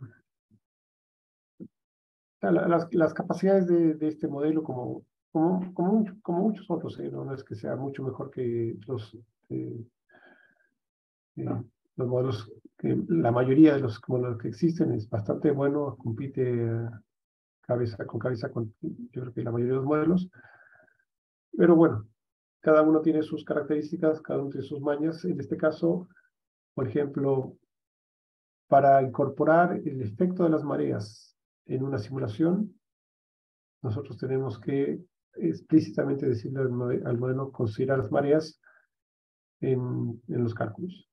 Entonces, este es un cambio, si seguimos la lógica que he mencionado en las presentaciones anteriores, este es un, cambio en la física del, del, modelo, entonces necesita en la práctica que activemos esa opción en el CPPDES eh, de, de, nuestra, de nuestra presentación.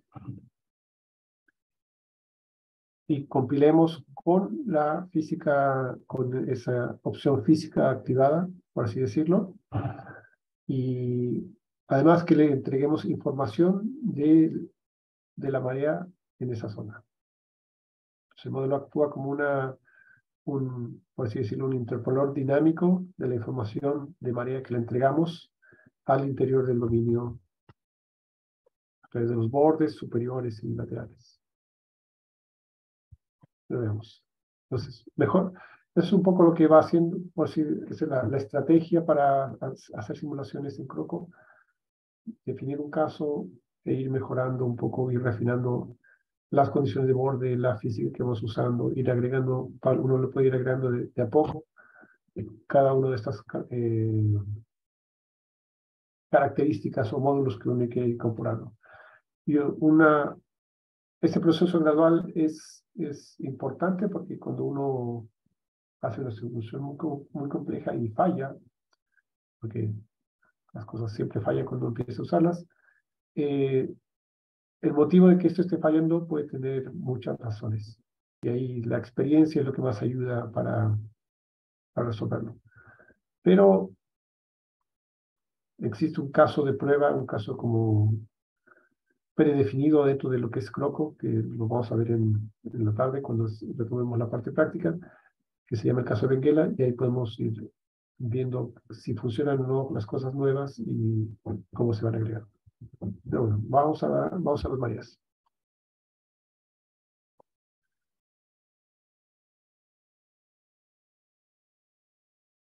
Entonces,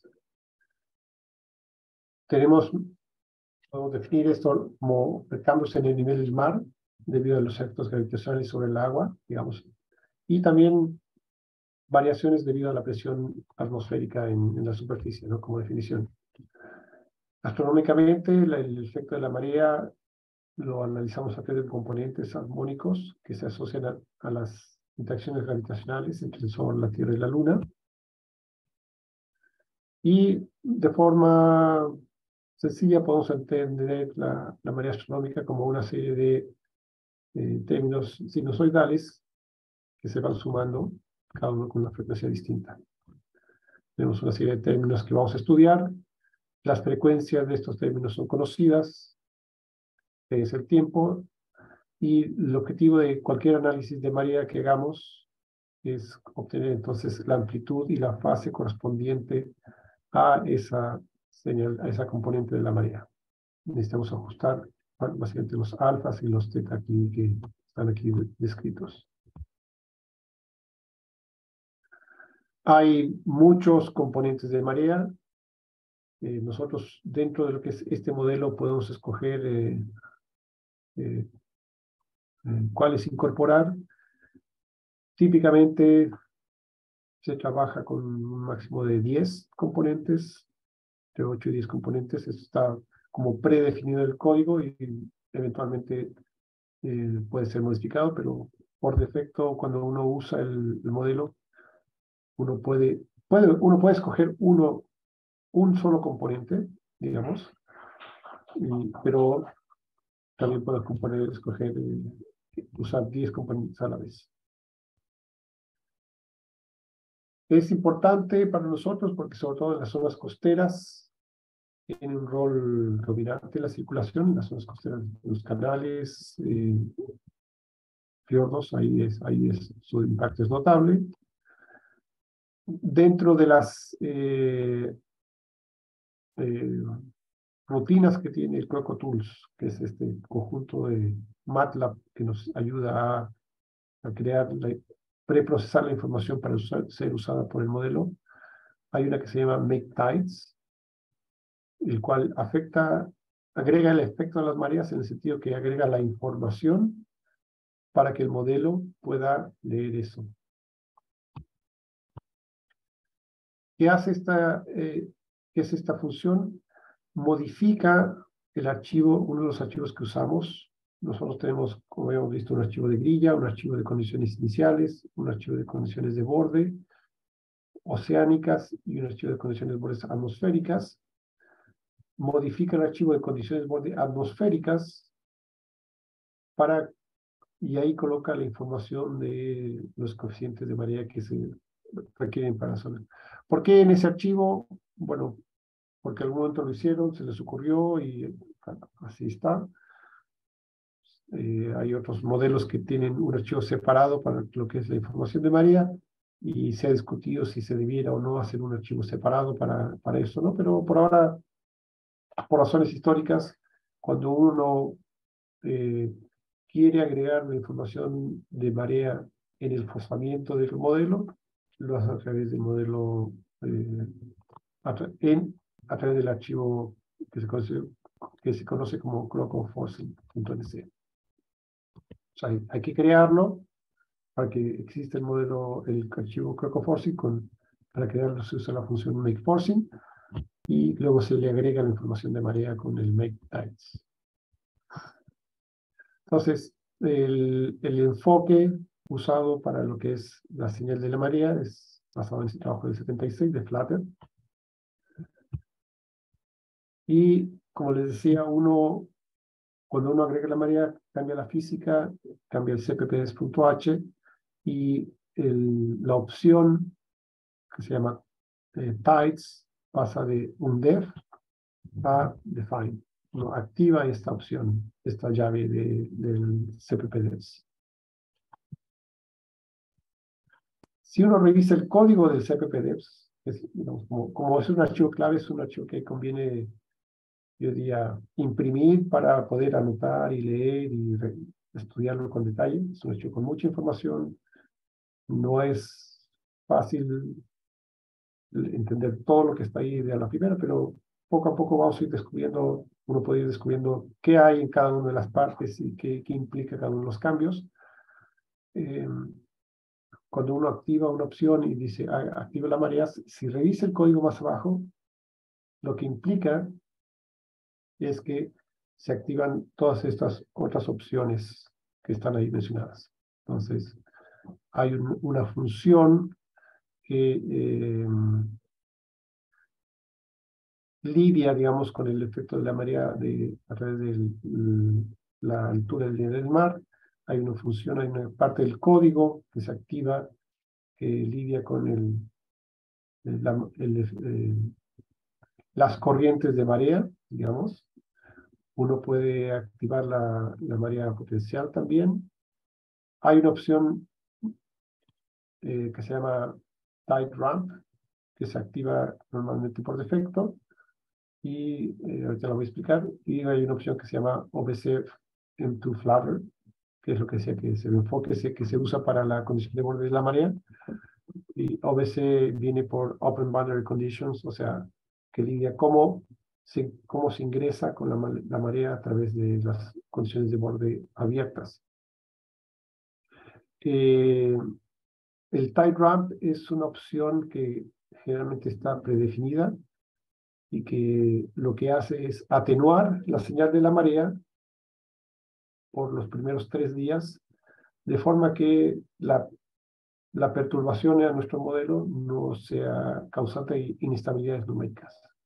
Entonces, si, si el rango de la marea es alto, por ejemplo, en una zona del mar interior, y tenemos una condición inicial suavizada, no queremos que nuestro dominio empiece a oscilar repentinamente, así con todo el rango mareal, porque esto podría crear errores numéricos. Entonces, para evitar esa inestabilidad, lo que hace el TERRAP es que, si bien la marea debería tener un rango, no sé, de 3 metros en una zona, eh, el, este valor se alcanza plenamente a los tres días durante tres días la, el, la amplitud de la marea está atenuada. Por supuesto, si ya el modelo es estable y ya hemos corrido un mes, por ejemplo, eh, a la siguiente, eh, al siguiente mes que corremos el modelo, habría que desactivar esta opción. Habría que desactivar, cambiar el CPDTs, volver a, compilar el modelo, tener un ejecutable donde el tide ramp no esté activado. Recuerdo haber visto este tipo de, trucos, digamos, por así llamarlos, numéricos en códigos de, o para océano en relación al viento. Decirle, bueno, tú quieres imponer el viento como forzante en tu modelo, no, no impongas el viento de una sola vez, como que llegue de golpe a forzar tu dominio, sino darle un periodo de rampa en donde el viento va aumentando su magnitud gradualmente hasta que ya... Entonces, es un, un truco numérico bastante usado. Como decía, los parámetros que vamos a usar para eh, el, el croco, la información de marea que vamos a incorporar viene, a través de el, el, archivo clave para el preprocesamiento, el crocotools param. Aquí decimos eh, por ejemplo, usamos el producto TPXO como fuente de información para la marea. Eh, por defecto está el TPXO 07 y también hay un, archivo extra, algo, una edición más o menos reciente, para incorporar lo que es la carga y la autoatracción que uno puede ir agregando. Y eso tiene efectos de un más o menos zonas costeras tienen un efecto como un 5%. Aquí uno dice de cuántos componentes voy a agregar. Eh, aquí están los 10 componentes usuales que se agregan y si uno quiere los pone todos o si uno quiere puede decir estudiemos el componente, un componente de marea, el M2 nada más y forcemos nuestro dominio por M2 y ya. Y aquí el CocoTools te, te, define una zona, uno puede definir un punto para que, que nos muestre cómo es, cómo es la información de manera extraída en ese punto. Eh, hay un trabajo muy interesante de, de Christian Eichen para la marea en el mar interior, donde él básicamente hizo esto de forzar el modelo con componente por componente y eh, obtener un buen ajuste para la amplitud de la fase, viendo que era posible hacerlo. Eh, ajustando para cada caso un poco lo que es la, la el fondo de la, eh, la fricción de fondo. usaba primero el M2, el S2 y así para cada uno ajustar el coeficiente para lograr un buen ajuste. digamos, para mí ese, ese, trabajo fue muy, muy útil porque me, me dio a entender, ah, ok, es posible obtener buenos resultados en una zona, tan compleja como es el mar interior, con sus canales y rango mareal tan alto, eh, pero en la práctica uno no, no, no, no aplica componente por componente, sino tiene que colocar todas las componentes a la vez. Y ahí hay un desafío de cuál es la flexión de fondo más correcta para o que me va a entregar un mejor resultado. Hay un balance que todavía hay que, realizar ahí. De hecho, eh, la fricción de fondo debería tener una variabilidad espacial, que en este momento no lo tiene, como tanto espacial como temporal, los coeficientes para poder representar bien el efecto de la marea. Bueno, el CrocoTools como, como resultado nos entrega una mapas de lo que es las componentes de marea. Este es el caso de Benguela que vamos a ver en la tarde. Eh, nos muestra la, la, un mapa de la amplitud de la marea, eh, la fase también de cada componente y la serie de tiempo que les decía para un lugar X, como para que uno vea que la información extraída eh, es o no realista según lo que uno conozca. Ese es el, ese es el punto que define cada uno dentro del, estos son mapas que te aparecen para que veas la información que va a entrar a tu modelo, no son resultados del modelo. Con esto va a ser forzado tu modelo.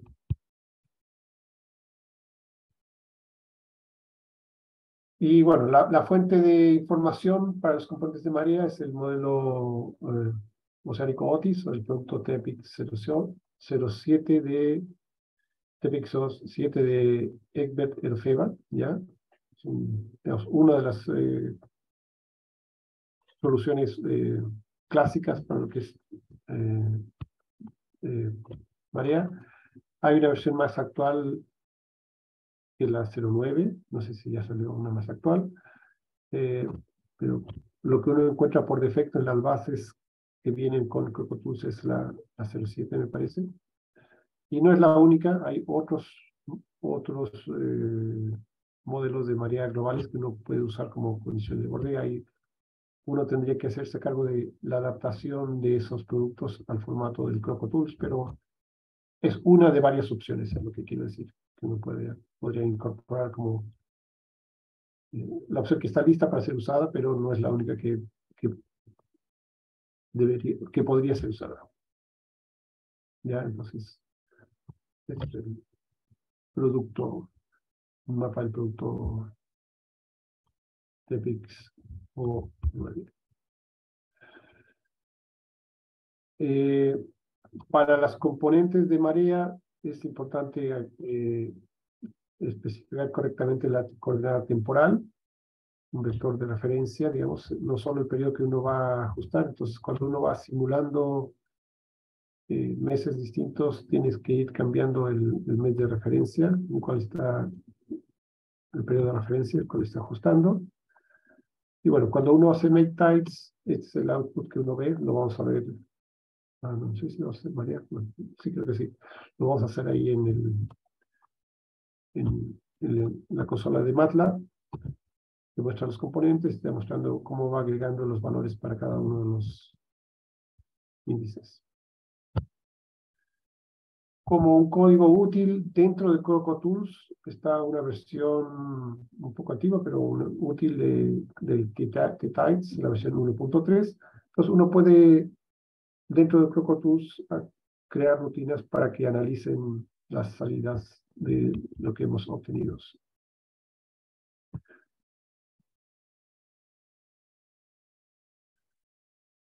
Bueno, como decía, hay que recompilar el modelo y sobre todo cuando usamos el, el type hay que acordarse de desactivar esa opción porque si no uno cuando hacer una simulación eh, va a perder los primeros tres días de cada, de cada periodo que calcular.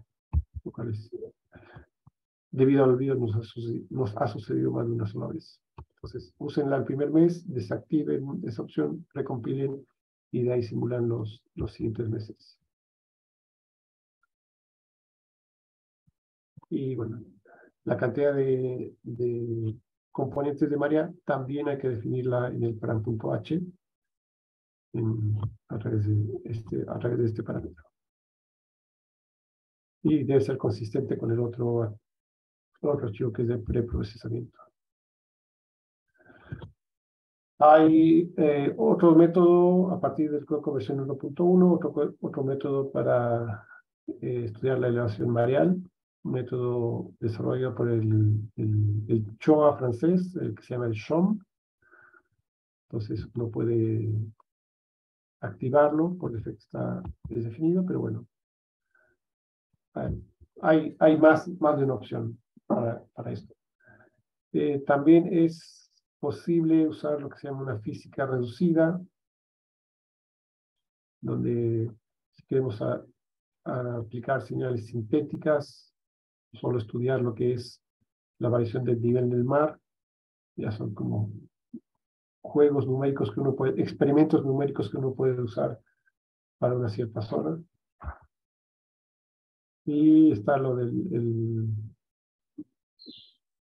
como había mencionado, el, el, efecto de autoatracción, que tiene una corrección de alrededor del 5% de amplitud en, en, las zonas costeras. Y ahí está la referencia para ver, entender más de este, de este efecto. Eh, y aquí está el trabajo de Aiken de 2008 que les mencionaba, que es bastante interesante como analiza componente por componente. Son, hace, simula cada componente por seis días y ve el ajuste. Y básicamente dice que es posible tener un muy buen ajuste en esta zona. La geometría es muy importante. Recuerdo que comenzaba con él y, la geometría y creo que en su decía que el ancho del canal de Chacao podía tener un impacto fuerte en lo que es eh, que se represente bien la resonancia en mar interior.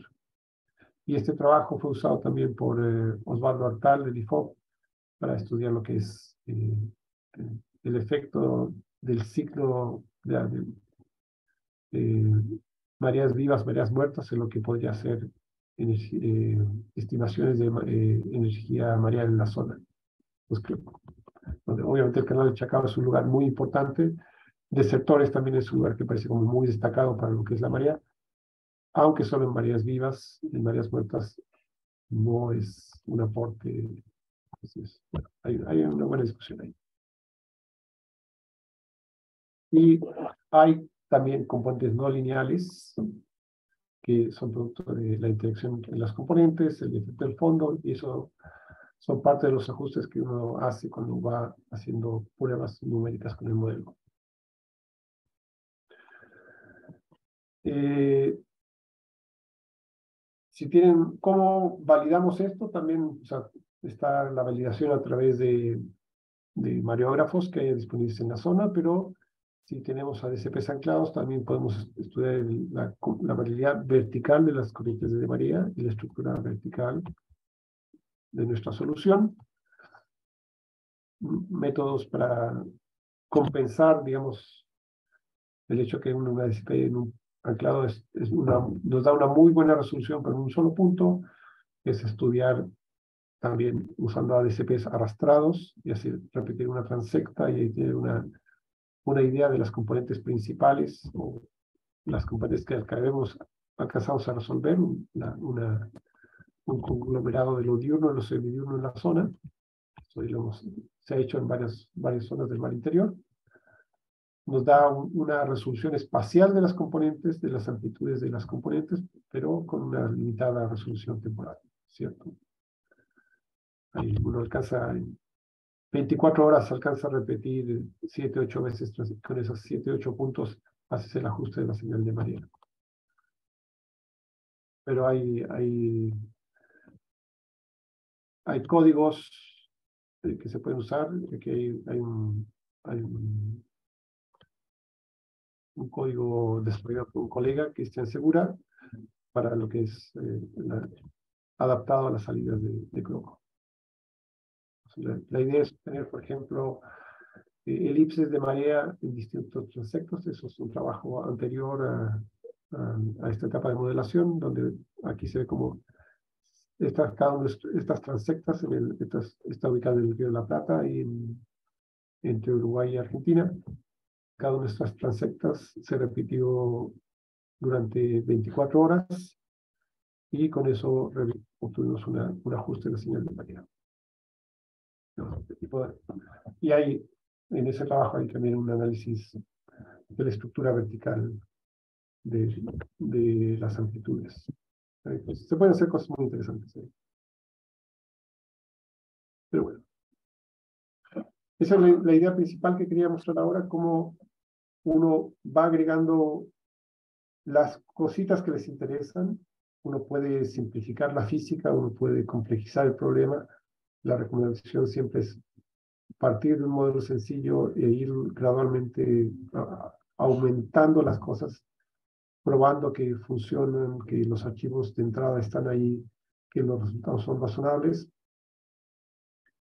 Y es un código bastante probado, pero siempre hay siempre está la capacidad humana de introducir nuevos errores en las actualizaciones y ahí hay que comunicar los problemas en el foro, discutir, colaborar, compartir las experiencias.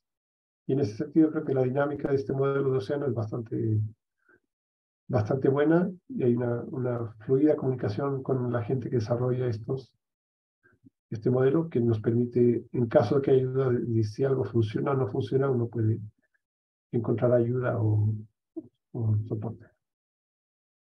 Y bueno, esto sería lo que quería tomar ahora en la mañana. Entonces, la propuesta es que nos juntemos a la, más o menos a la una y media para, tengo diseñado tres tutoriales que eh, ya hemos hecho antes en el centro de supercómputo. Y la primera es ver cómo se hace un, cómo se hace una simulación en este centro de supercómputo, cómo aprovechamos el, en el HPC para correr Croco, cómo cambiamos con el caso por defecto que existe, el caso de Ungela, El segundo tutorial es, bueno, yo quiero mi dominio, ¿cómo cambio mi dominio? Y el tercero ya, ok, ahora a mi dominio quiero agregarle esto, ¿cómo le agrego? La María, por ejemplo. Así que, no sé si hay alguna duda, algún comentario de lo, de lo que hemos visto en esta mañana.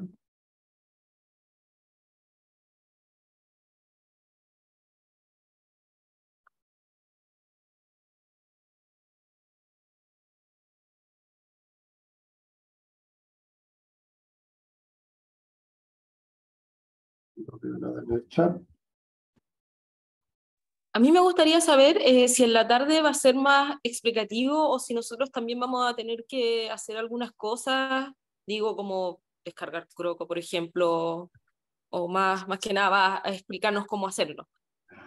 No, eh, voy a mostrarlo, pero ustedes van a tener acceso al centro, van a tener una cuenta de cómputo, entonces van a poder entrar y poner las manos en el teclado. Perfecto, gracias. Sí. Eh, ahí les pido a José o Esteban que se pueden compartir el enlace de nuestro canal de YouTube para que los asistentes sepan cómo conectarse al chat. Gracias. Sí. Aquí, aquí hay una pregunta sobre si Croco podría ser usado para modelar la interacción de ondas internas con marea. Eh, yo no, personalmente no he hecho ese tipo de trabajos, pero eh, por lo que conozco de Croco no veo ningún problema. O sea, tú incorporas la, eh, incorporas la marea, eso, eso está, es, es, un trabajo bastante clásico. Y bueno, las ondas internas tú las, las puedes representar en la medida que tengas una buena estructura vertical, o sea, que tengas un, digamos, una, una, propagación de ondas internas en tu dominio. Y se, se, ha hecho, se han hecho simulaciones para eso. La, la, el trabajo de los dos temas en sí no lo he hecho yo, no sé si se ha hecho no. Y Croco se puede usar en modo no, hidrostático. Eso, eso ya, está, ya está activado. De hecho, hay, hay como dos, dos formas de, dos, dos enfoques para lograr el tema no hidrostático. Hay dos, dos formas de trabajarlo, pero sí, sí ya están dando. Y como es un tema, es uno de los cambios más recientes, es un tema que es de mucho interés para los, los desarrolladores. Así que bueno, ahí. Yo creo que una de las cosas que les recomiendo mucho es que manden preguntas al foro para saber si la gente ahí encuentra, o sea, muestren su interés y ese interés les permite a la gente que desarrolla el código decir, ah, esto es lo que hay que agregar, esto es lo que nos falta. Eh, profesor, envié allí un tutorial de conexión al clúster para los que no estén familiarizados. Y hay un tema con las cuentas. Usted tiene una lista de cuentas. Creo que serían 15 los alumnos a utilizar. No sé cómo le va a distribuir usuario y password. Ya, voy a... Voy a... Bueno, cuando nos conectemos, yo creo que por orden alfabético o que se vayan distribuyendo. Voy a ponerlo, modificar el, el, el archivo y lo puedo explicar asociando cada nombre a una cuenta para que puedan entrar a cada, una, cada persona a su cuenta. Okay.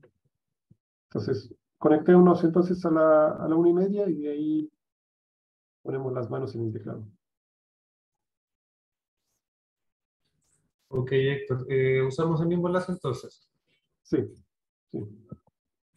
Ya pues, muchas gracias a todos. Los esperamos a la una y media como decía Héctor. Muchas gracias, por su presencia.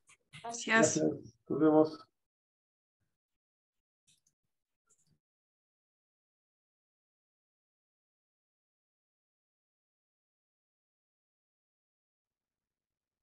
Me parece que somos lo que somos, así que a ver, les voy a compartir este, este archivo. les voy a poner en el chat en el tutorial. ¿Se, ¿Se puede ver la pantalla? Se ve la pantalla. Bien, entonces, eh, desde esta dirección pueden bajar este el primer tutorial. Puedo poner también en el chat para que lo vean directamente.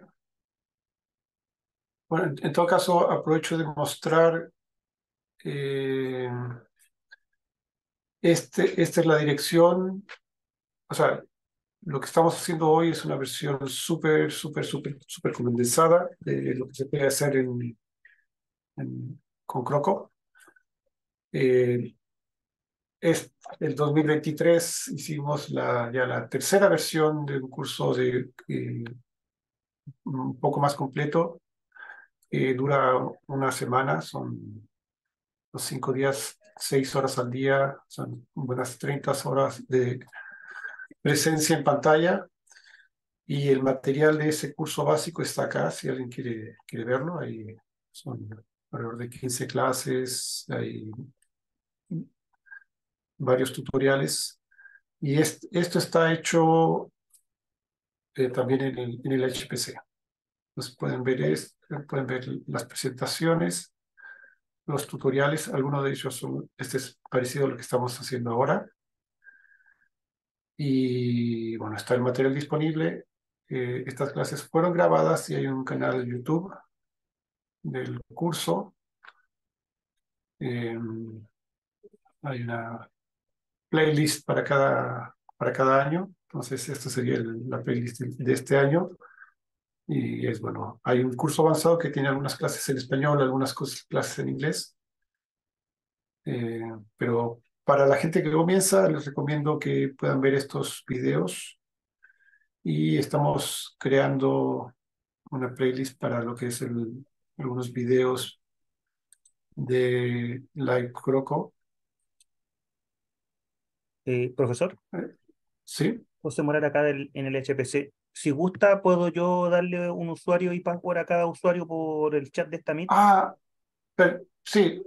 Le, De- le, le ayudaría bastante, ¿cierto? o Por- mientras, lo estoy poniendo en pantalla ya. Ah, Perdón.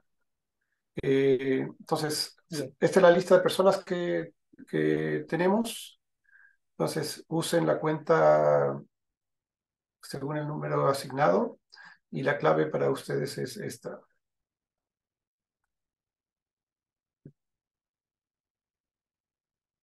Bueno, pero todos tienen la misma clave, digamos, usen distintas cuentas para que puedan trabajar.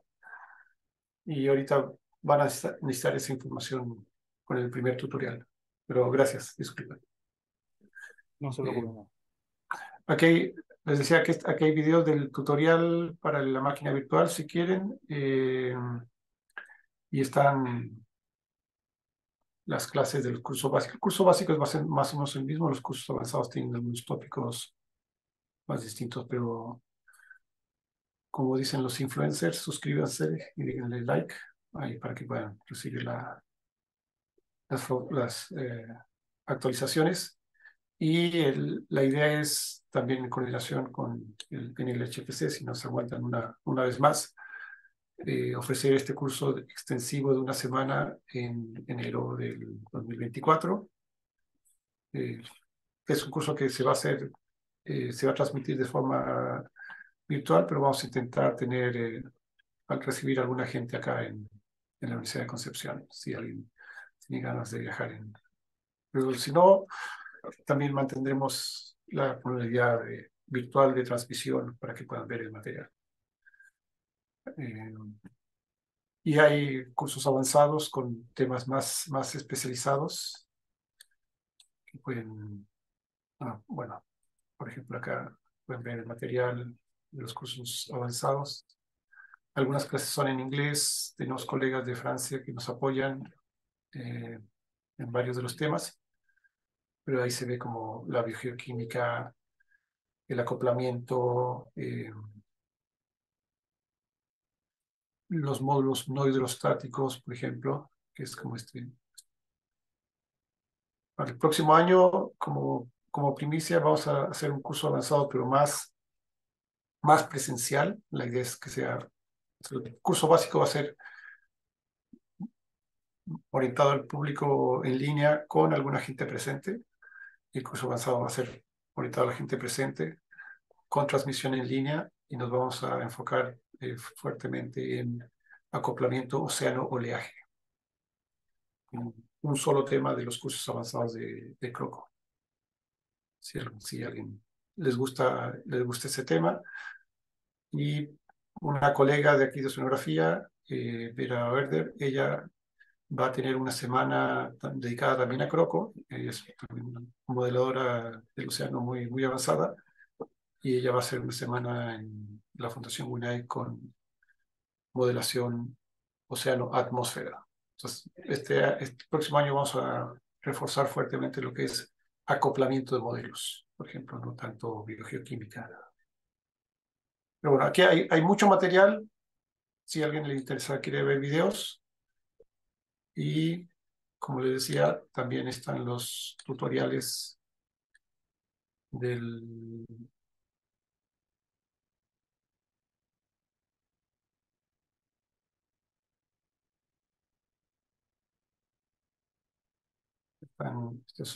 bueno, estos son los que vamos a ver hoy.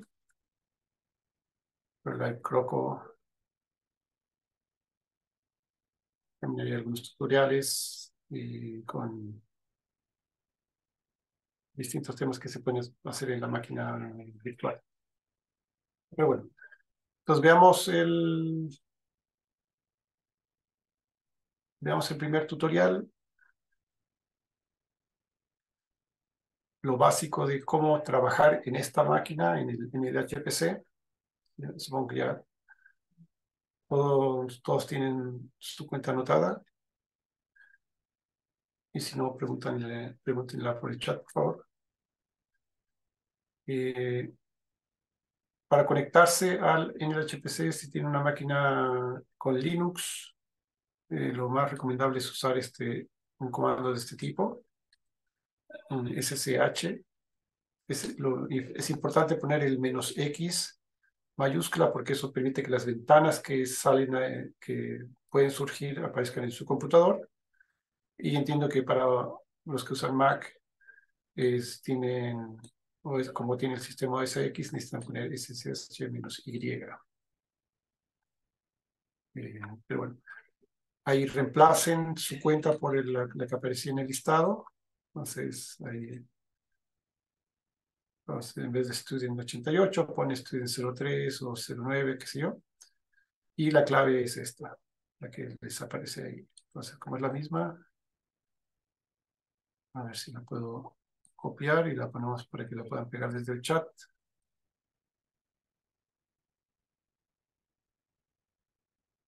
Ah. No con PNG, pues. Ok. Entonces, ¿un cero o una O? Nunca, nunca sé.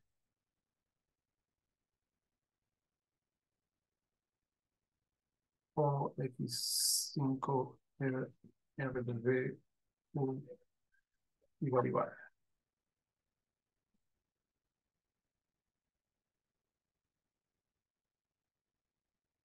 Creo que es eso, no sé, si es cero o una mayúscula. Voy a dejar esto un poco al lado para ver si hay mensajes. Ok, entonces, entrando, cuando ustedes entran a, su cuenta, les aparece un despliegue un mensaje así, con el logo, la información, y en el fondo les dice que Nodos de cálculo están disponibles en este minuto? Es un computador bastante ocupado.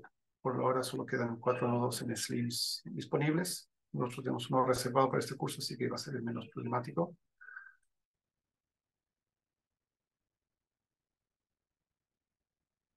Bueno, yo hice, hice le, eh, estoy probando ahorita todo. Vamos a hacerlo de nuevo. Oh, bueno.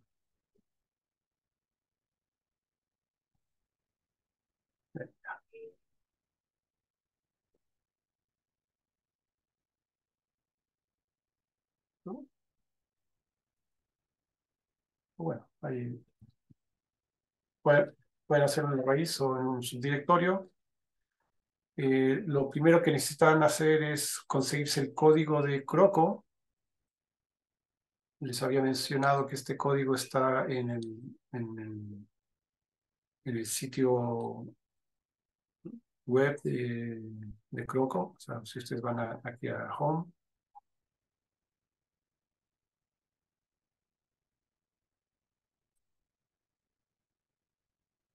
van aquí a Download y ahí pueden encontrar el enlace donde bajan la versión más estable, que es la liberada en el 2020, 2022, noviembre, hace ya un tiempo. Y bueno, quizá antes del próximo curso de enero vamos a tener la versión 1.4. Eh, Ha habido un trabajo bastante activo en lo que es hacer mejoras. Entonces, ¿cómo tienen el código? Usan esta, esta, esta orden, wget.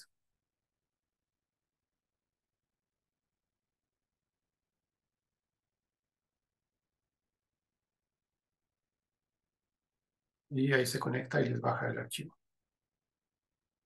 Y aquí, bueno, aprovecho de mostrar, aquí, la, aquí están los tutoriales de,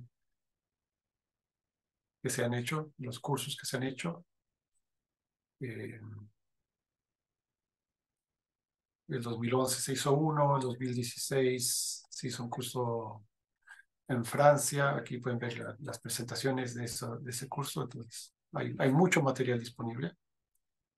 Este, bueno, está en, en, en inglés principalmente. En 2018 hicimos uno acá presencial en, en Concepción, como parte del Austral Summer Institute. Y bueno, en el 2019 hubo uno en, en Bretaña, en Brest. Y con la pandemia empezamos el 21, el 22 y el 23 para hacer cursos virtuales. Y ya el 22 hubo cursos eh, presenciales virtuales en Sudáfrica, un poco siguiendo la misma idea eh, que, que habíamos implementado acá. Y ahora, ahora en noviembre viene un curso también en, en Sudáfrica, en noviembre, y un curso en, en Francia. Pero aquí estamos orientando a hacer los cursos, ojalá, por ahora la, parte presencial es 100% en español, o sea, la parte básica, y la idea es crear una comunidad suficientemente grande para que la parte eh, avanzada también logremos hacerla en, en español aquí, entre la comunidad. El póster del curso, del tercer curso, es el, curso, póster del curso de Sudáfrica. Porque hay, hay material que se puede compartir y se puede revisar. Ok, entonces uno, con este comando, como pueden ver, bajamos ya la versión de Croco. Eh, hay que, eh, el código del el ejecutable lo podemos descomprimir este comando y este comando.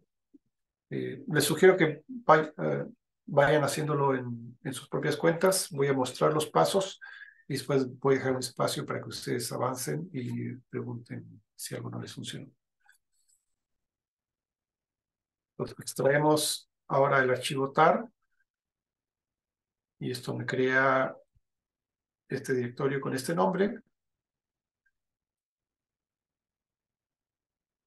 Eh, ah, aquí me equivoqué, no es, voy a moverlo en este nombre, lo voy a mover a, este nombre, solo por eh, el más corto. La línea 4 no es MKDIR, sino es MOOC. Y esto... Y ahora, ahora voy a bajar las, las herramientas CrocoTools.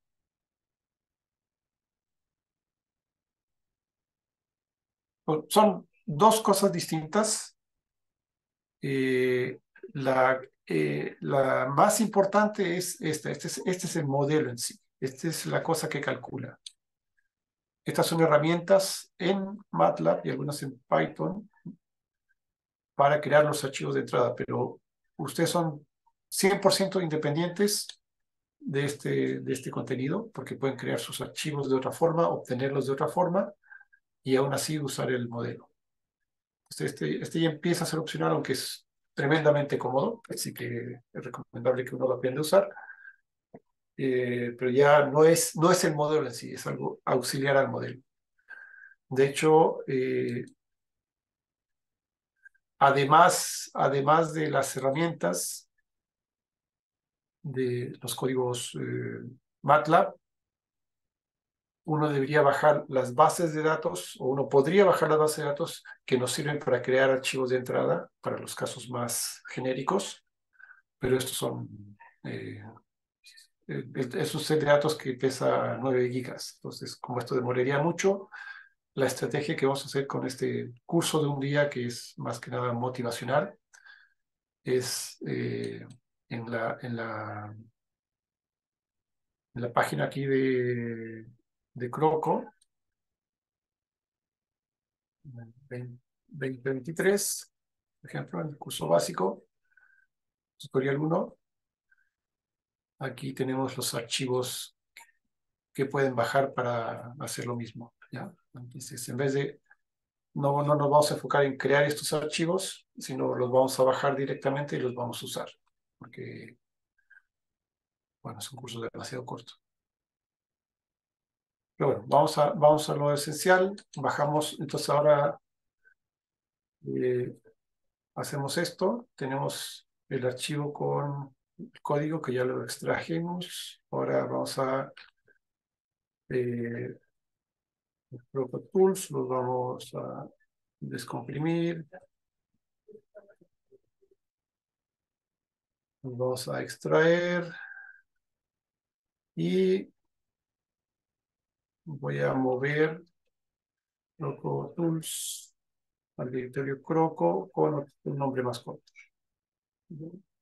Por, para que sea más cómodo, lo, lo agrego al directorio Croco y le pongo un nombre más corto. Pues, en este minuto podría borrar esos star y nada más. Entonces, aquí tengo un repositorio con el Croco y el Croco Tools. Eh, ahora me, cambio a ese, voy a hacer un directorio. Voy a llamar aquí Andrés. Y como forma de trabajo, les sugiero que eh, copien todo el contenido Ah, este, de esta forma, aquí tienen el código eh, completo. Y aquí tienen, es como el repositorio final, y aquí hagan su directorio de trabajo. Si llegan a borrar algo accidentalmente, siempre pueden recurrir a este, este al contenido original en este directorio. Entonces, en esto, es lo que, esto, que, esto es lo que uno ve, menos las bases de datos con, que tiene la estructura de Croco. Para crear un, caso de estudio, uno trabaja con este archivo, config.bash. Estamos acá en, en esta parte. ¿Ya? y uno tiene que editar ese archivo. Yo uso el editor Nano.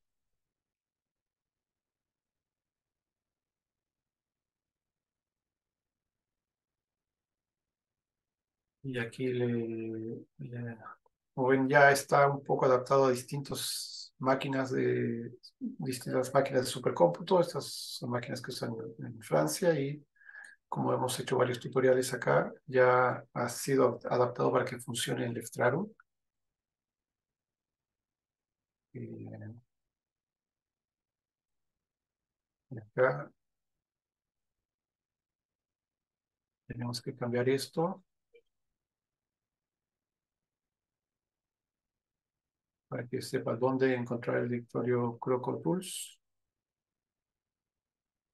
Y lo principal, eso no lo, no lo puse acá, lo principal, aquí uno le pone un, un nombre a la simulación.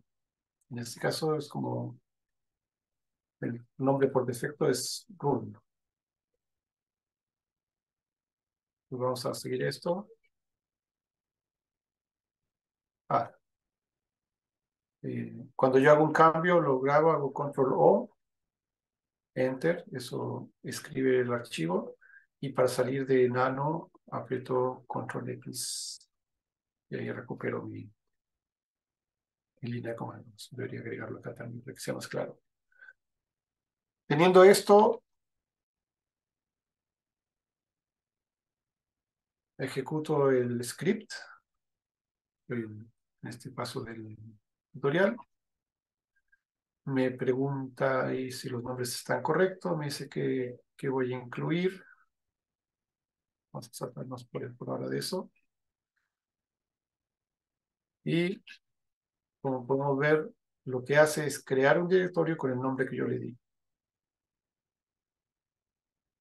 Y en ese directorio tengo las cosas necesarias para hacer una simulación. Como si yo quisiera hacer otro caso de estudio, eh, por ejemplo, como quisiera me prueba 2, cambio el nombre de la configuración, control O, grabar, control X, salir, eh, ejecuto de nuevo este, digo que sí, y como pueden ver, ahora tengo un directorio llamado prueba 2 y un directorio dos. Estos son como los directorios de trabajo. Uno puede, lo que yo hago usualmente es colocar un directorio por cada, cada intento. Vamos al directorio run. ¿ok? Y aquí encontramos los archivos que eh, son importantes. O sea, hay muchas cosas, hay que recordar, hay que encontrar los que son los más importantes. Estamos aquí en esta etapa, en la página 3. Acuérdense que les había hablado del cppdevs.h que tiene la física del, de, mi, de mi caso de estudio. Les había hablado del param.h que tiene como la, la, las dimensiones matriciales o la cantidad de cosas de mi caso de estudio. Tengo el punto in, que es el, eh, como el list, donde hay cosas que voy a configurar para, para un cierto caso de estudio. Y el otro que le mencionaba, el CrocoTools Param, cuando use Croco. Eh, taran, taran. Ya. Entonces, como este, como este es un supercomputador, lo, lo mínimo, lo que, eh, que, para aprovecharlo necesitamos correr el modelo de forma paralela. Entonces, en la compilación nos conviene editar el cppdevs y aquí en este caso en la línea de acá me dice la opción de utilizar MPI está no definida, que es el caso por defecto. La cambiamos a que esté definida para poder aprovechar la paralización de en esta máquina. Y aquí, aquí este es el caso, les decía el caso de Benguela, de baja resolución. Es el caso por defecto que existe en Croco. Entonces hago eso, control O, enter, el X salgo y, y algo particular de esta máquina es que necesitamos cargar módulos para ejecutar tareas. En este caso, empezamos con ML Purge para borrar cualquier módulo que esté cargado. Como clear de la memoria.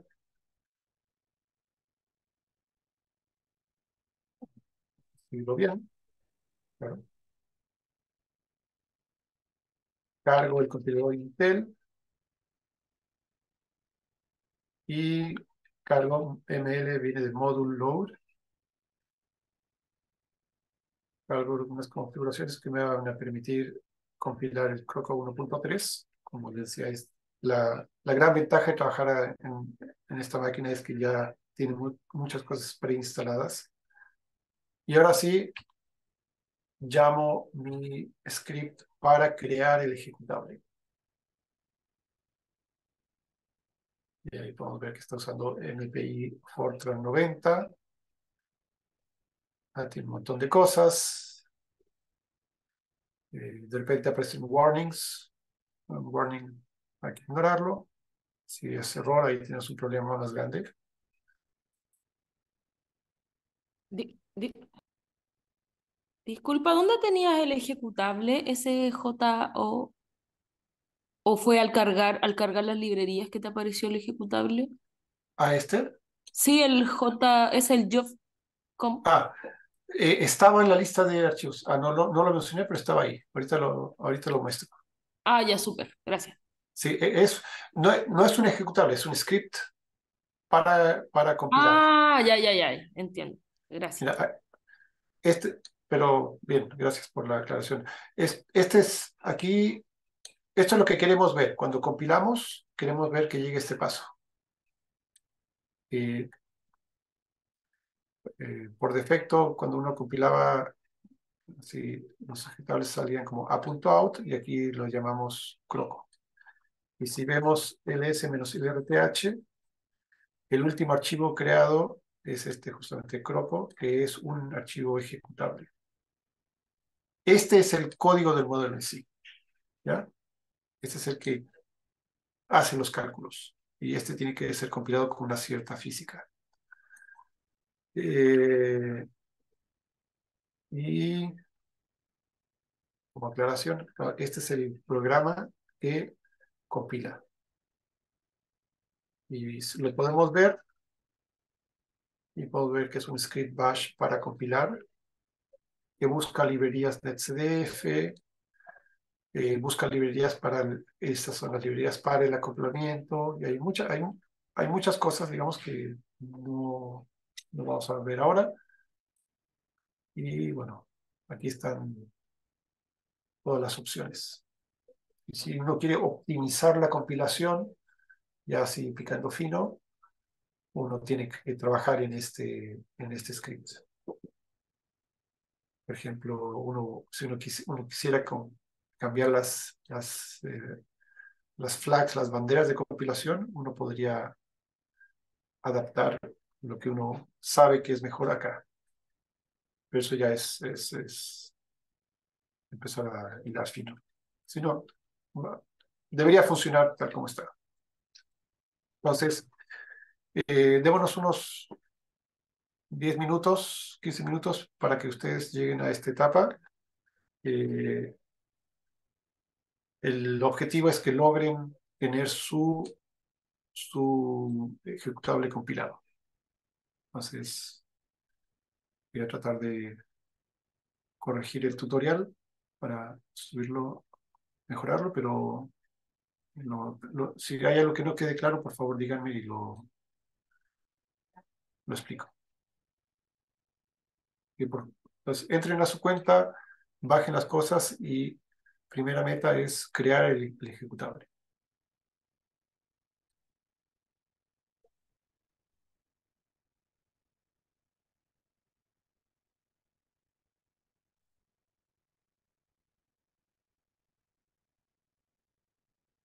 Ujú.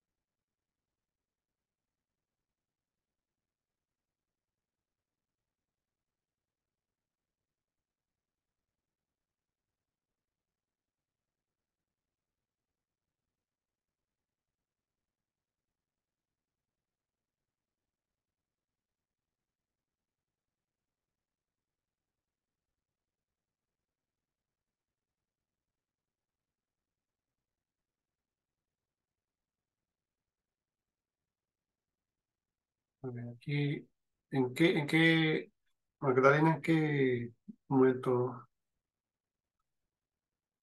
Ah, hay que hacer el, ah, ah, tienes que hacer el GESIP antes. A ver, déjame. No lo puse bien. Ah, perdón, sí, esto está mal. Quítale el punto GZ. Esto, al, al, esto ya, esto debería estar. ah, Gracias por la.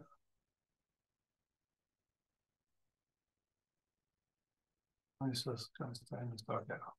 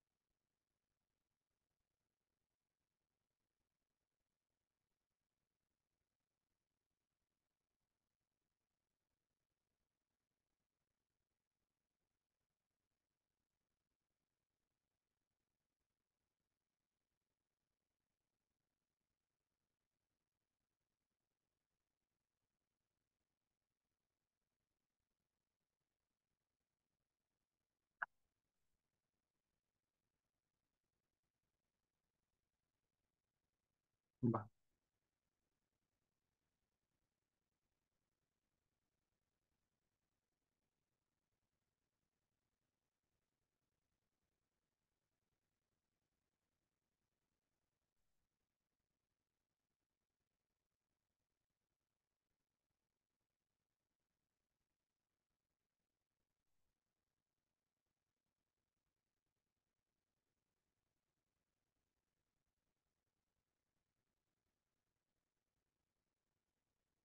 Mm.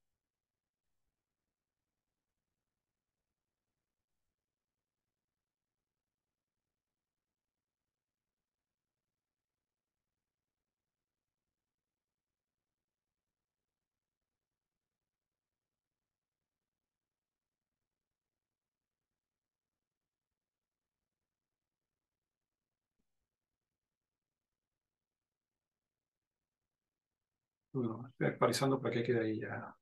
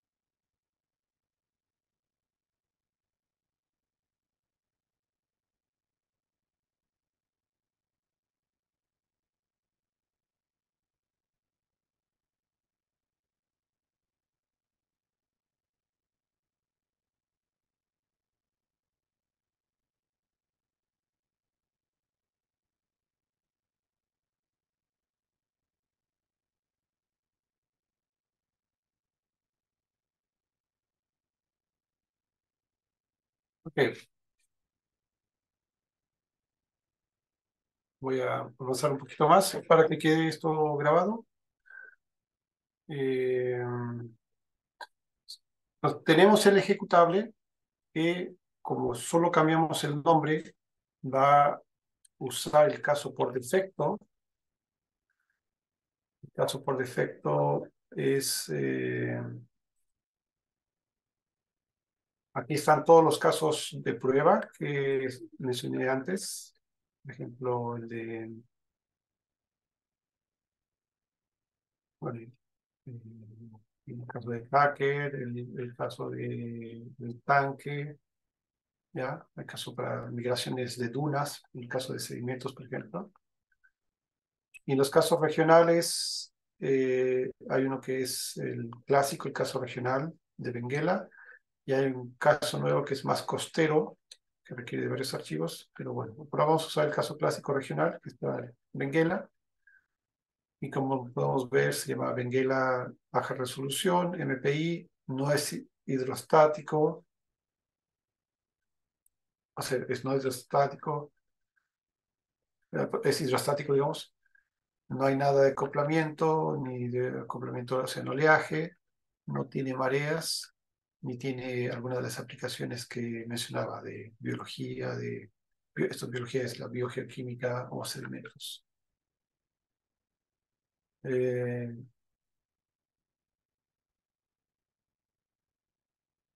y, ah, claro, y las cuatro fronteras están abiertas, porque como definimos el dominio, este, es, este sería el dominio que nos aparece. Este es Sudáfrica, entonces tenemos la frontera norte, la sur, la este y el oeste abiertas. Y acá, acá es, digamos, este caso es llamado Benguela LR.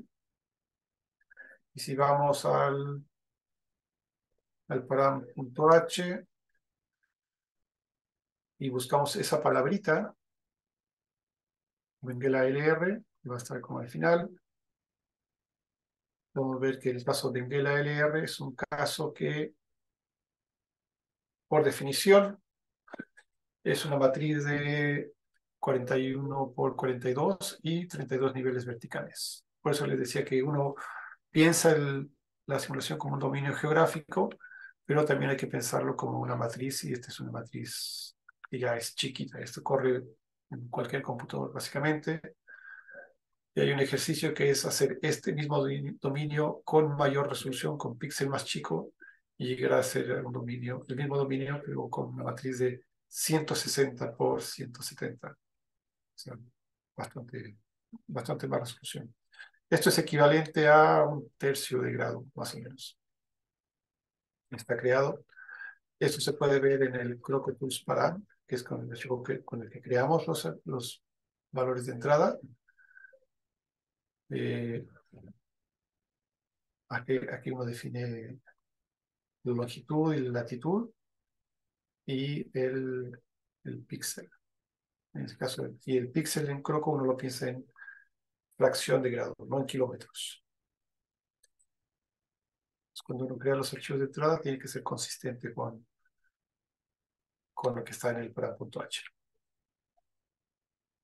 Esto es la información asociada a los niveles verticales, cómo se distribuyen los niveles verticales, etc. Entonces, si uno tuviera, el, no, lo vamos a hacer ahora, pero teniendo MATLAB, uno hace todos los pasos para crear la grilla, crear los, eh, los eh, archivos de entrada. Y eso, es, eso, como no lo vamos a hacer ahora, los tenemos que conseguir de este otro lugar le había dicho, los archivos iniciales. Entonces, copiamos este enlace y en el directorio que vamos a trabajar nos tenemos que ir a Profiles. Este es como donde guardamos los archivos. Y entonces aquí hacemos get y pegamos este archivo y lo baja. ¿Qué es lo que se sugiere acá?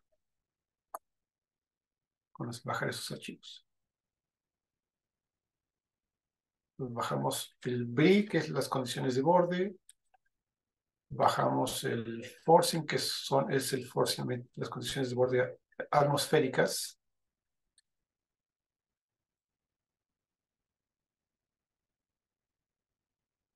Eh, la grilla,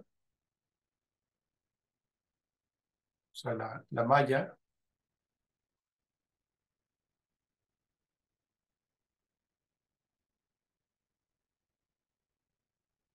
y la condición inicial.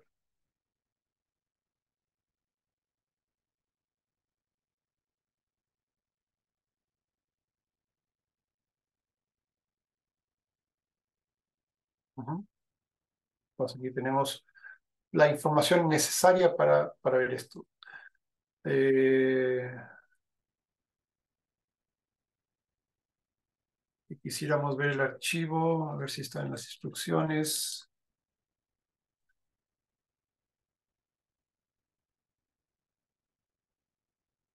aquí están las instrucciones para ver eh, los archivos en este ambiente. Hacemos en el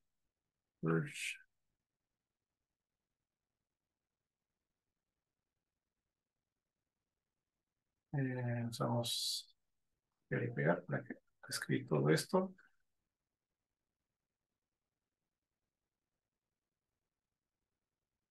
Y hacemos en este view de, por ejemplo, loco GRD.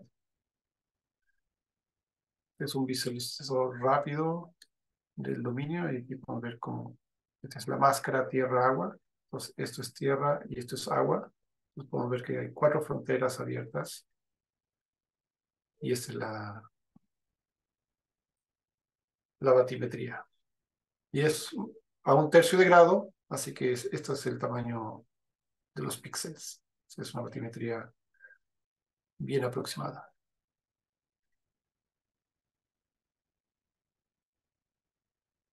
Ok, entonces tenemos los archivos de entrada. Eh, Aquí. Tenemos los archivos de entrada en este directorio. Tenemos el ejecutable aquí creado. El archivo de ejecutable tiene este archivo de configuración, el punto .in.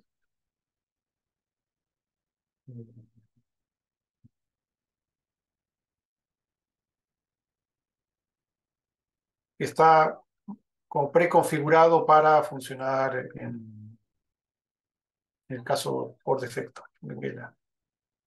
Entonces, por ejemplo, el paso de tiempo es de 3600, que para un tercio de grado es algo razonable, y el número de pasos de tiempo que corre es 720, o sea, el número de horas que hay en un mes. Con un paso de una hora, 720 horas es un mes de 30 días climatológico. Pues este es el, esto ya está configurado para el caso de Vela, es como el caso más básico. Y ya, entonces eh, vamos a bajar este script de acá para correr la simulación.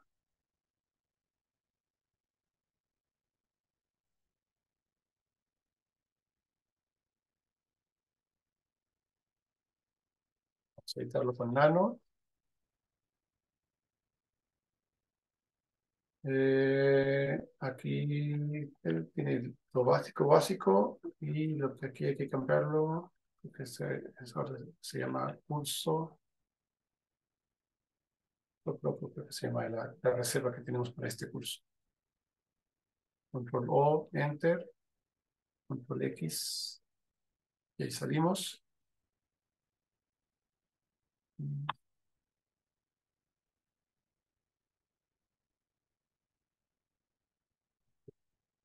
Permisos.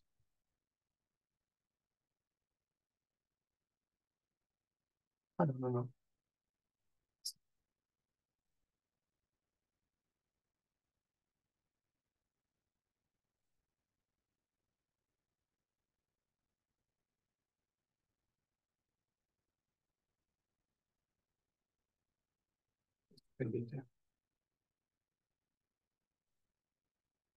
Bueno, ahí, ahí, lo lancé, pero no empezó a correr automáticamente. No sé si me equivoqué. es el, el nombre de la reservación está bien. Me lo habían enviado.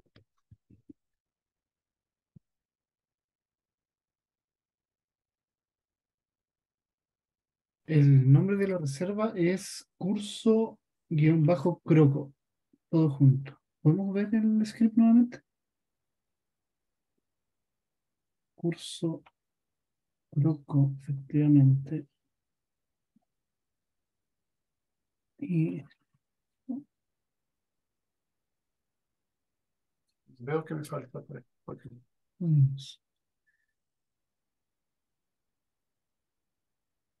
porque... Con efectivamente. Está bien. Ah, eh, ¿Puedes volver a intentar ejecutarlo? Ya, a ver. Veamos. Ah, ya, ya terminó, ya hizo algo, pero bueno. Ah, puede ser también. Sí, sí, a ver. Sí, ahí creo la ejecución, que es súper rápida porque es un caso muy sencillo.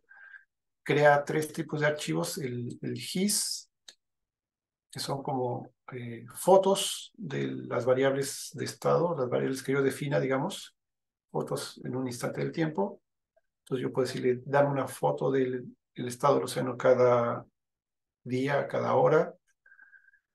Eh, yo, por ejemplo, si yo hago que todas las, todos sean, todas las áreas sean cada día, el GIS me daría una foto del estado del océano a las 00 de cada día. El ABG funciona con otra lógica, me daría el valor promedio de ese día, no, no, no, no lo que, no el valor instantáneo, sino el promedio del día. Entonces esto, dependiendo de lo que uno quiera, esto tiene mucho ruido o esto está muy suavizado. la aplicación va a depender del interés de cada uno. Puede ser un valor, es una foto que puede ser lo que uno quiere, pero también puede ser un monto muy extremo de la variable. Y si uno no quiere eso, puede ser, bueno, usar los ABG.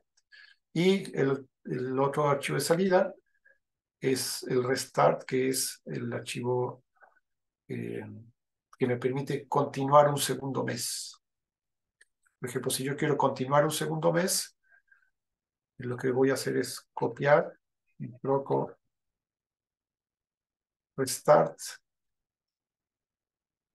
Tengo que cambiar este directorio. Tengo que copiar, copiar el init. ¿Ya?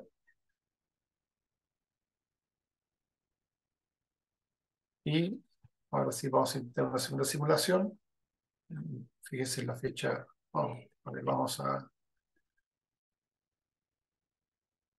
No puedo hacer... Eh, voy a hacer... Voy a respaldar mi croco para que no me lo sobrescriba. Año 1, mes 1, 15 Y la VG también.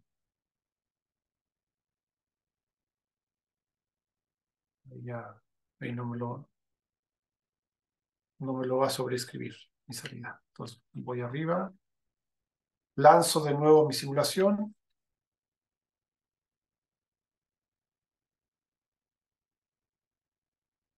Ah, bueno, todavía me deja esperando, pero bueno.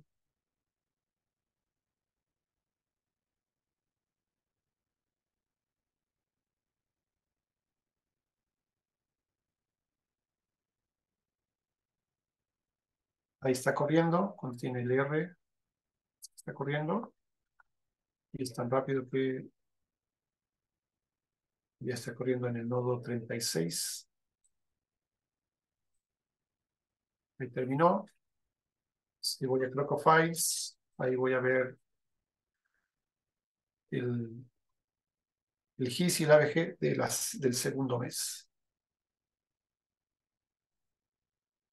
Y y así, así. Así puede ser varios meses.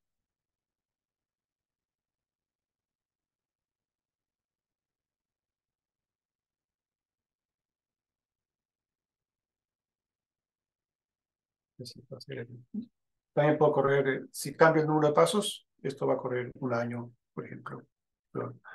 A veces es útil correrlo mes, a mes. Pues, eh,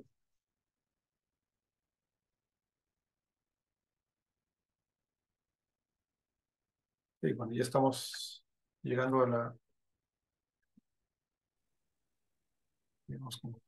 ¿Se podría volver a verificar los pasos realizados? Porque hay algunos usuarios que indican que CrocoTools no lo tienen disponible. Ah, Yo creo que ah, hay una carpeta que se llama CrocoTools guion, eh, perdón, guion versión 1.3. ¿No será esa la carpeta y Sí, eh, a ver, yo tal vez no sé si lo expliqué bien. Eh, esa carpeta hay que copiarla a acá. Este es el paso que esta carpeta, copienla, muévanla a este directorio con este nombre.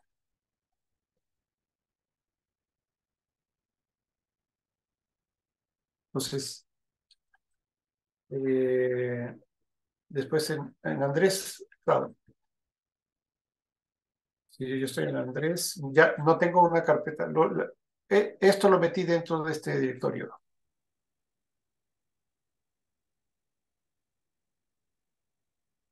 Y tengo uh, uh, Crocotools.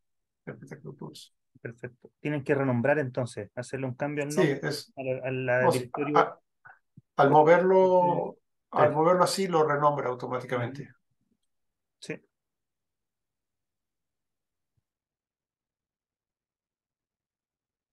Pero es, es una forma de organizarse. Lo importante, lo importante es que en, cuando uno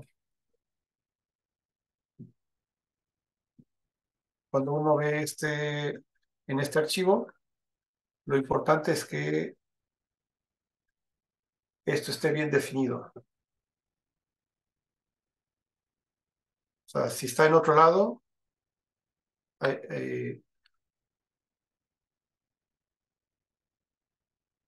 si está en otro lado, hay que mm, poner esa dirección.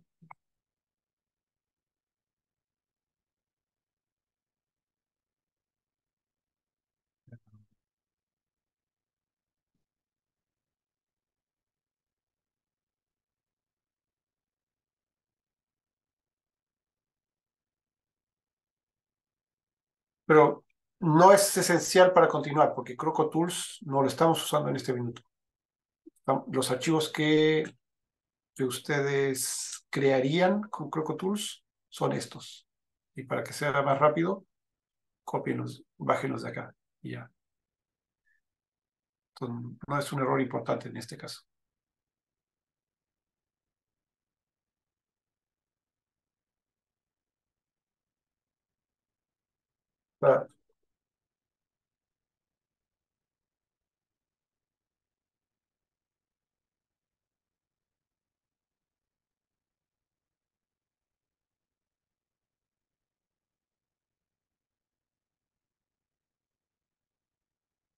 Hay, como hay, hay bastante material en, que se puede ver. Esto, todos estos cursos son hechos corriendo en las simulaciones en, el HPC. Eh, y hay cursos con clases, o sea, hay alguien hablando, pero también hay varios que son los que dicen práctica. Aquí podrían encontrar una, una explicación detallada también de lo que hicimos o cómo se hace la práctica para eh, otros casos. Hay, material ahí, eh, hay material en, en, inglés, hay material en español. Y en, enero de, de, este próximo año vamos a también ofrecer la versión más, eh, no tan acelerada, pero el mensaje principal es, este es un, modelo bastante, bastante usado en, aquí en Chile, en, Francia hay una buena comunidad también. Y creo que es importante crear comunidad para poder ir ayudarnos a resolver las dudas. Eh, es tan bueno como muchos otros modelos que existen, así que si encuentran otro modelo también es posible que puedan hacer lo mismo. Tiene un enfoque a lo que es más la física regional acercándose a lo costero y está siendo usado a nivel operacional en instituciones como IFO para estudiar dispersión de contaminantes, dispersión de glucisa, dispersión de larvas, eh, recientemente, por ejemplo, volviendo a estas este, ciperchonos, les había mostrado lo que es la, las salidas del modelo en sí.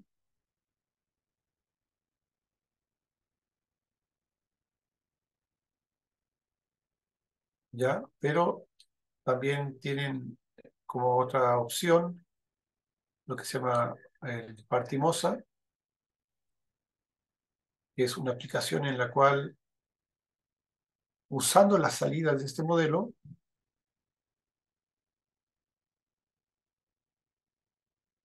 usando las corrientes calculadas, pronosticadas, por ejemplo, decir, bueno, ¿qué pasa si en este punto hay algo? Yo tuvieron partículas inertes. Usamos la simulación de ayer, del 19, hacia dónde, hacia dónde dispersarían estas partículas. Y es un código lagrangiano externo, en particular este es el OpenDrift, está en Python, pero que para dispersar partículas usa las corrientes generadas por, entonces ya Ahí las aplicaciones pueden ser otras. Tienen módulo para dispersar cáligos y estamos trabajando en, agregar módulo de dispersión de derrame de petróleos, por ejemplo, o plásticos también. Todo basado en las corrientes que fueron calculadas para los próximos 5 o 10 días. Pues la, las aplicaciones son muchas, pero parten todas de tener una buena, una descripción confiable de las corrientes.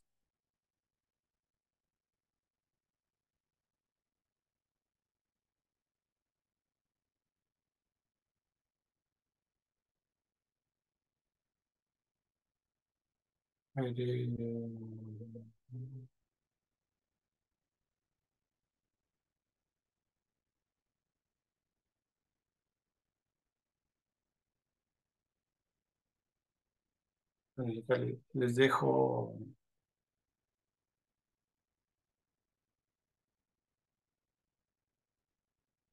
Los tutoriales que podrían, si tienen acceso a la, a la cuenta de, a una cuenta del Estraru, eh, aquí unos tutoriales que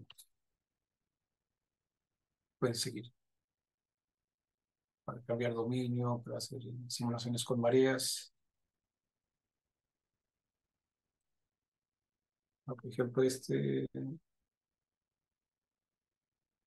este de con mareas, a ver.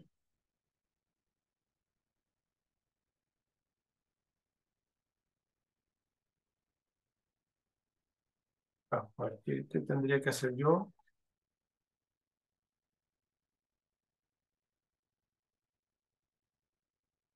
Se había dicho, había que editar el STPPDEX.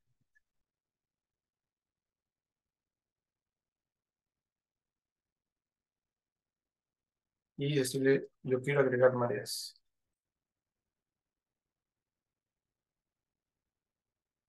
Lo grabo. Como lo grabé, tengo que recompilar.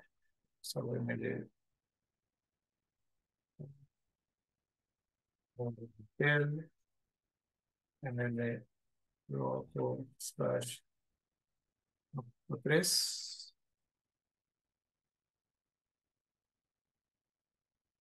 lo que es esto. Así inversión. Recompilo. O sea, puedo hacer, puedo mover, mover mi ejecutable a loco sin mareas.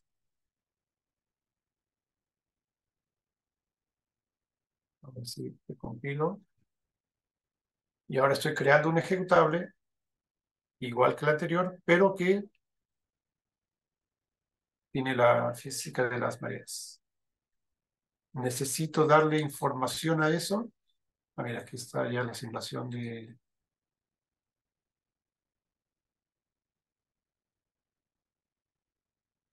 partículas.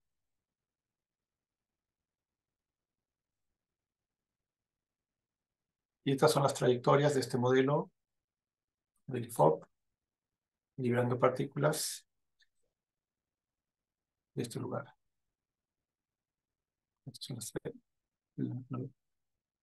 Muchas partículas ahí, pero de más o menos... ¿Cuántas fueron?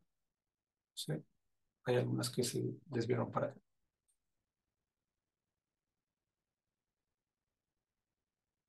Eh, a ver, a ver, a ver. Curso básico. De mareas.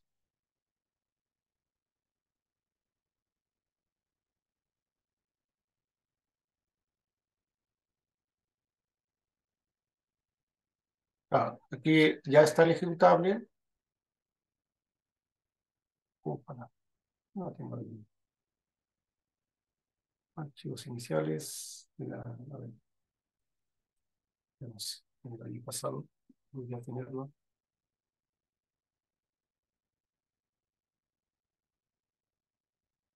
Necesito el archivo con las mareas.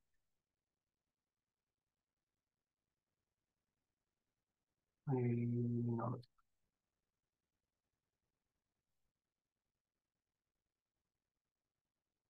Hmm.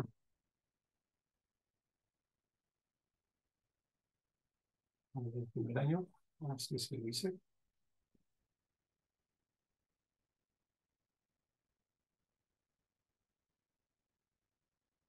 Metodología.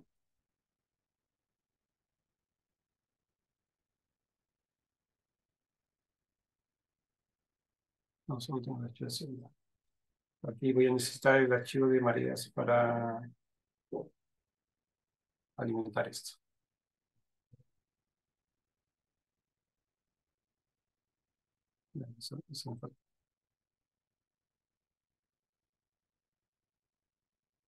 Pero bueno, eh, para continuar, si no tienen acceso a, lo que es el, el centro supercómputo, eh, les sugiero continuar con las herramientas. Ah, pasa que aquí los tengo. Tres. Ah, no, voy a agregarlo ahí. Es un archivo de entrada que es lo mismo que el otro, pero. Aquí están los tutoriales para hacer eh, mareas, pero desde el Light Croco, donde el caso extra es se agrega Tides para agregar la información de las mareas entre el archivo creado con el forcing.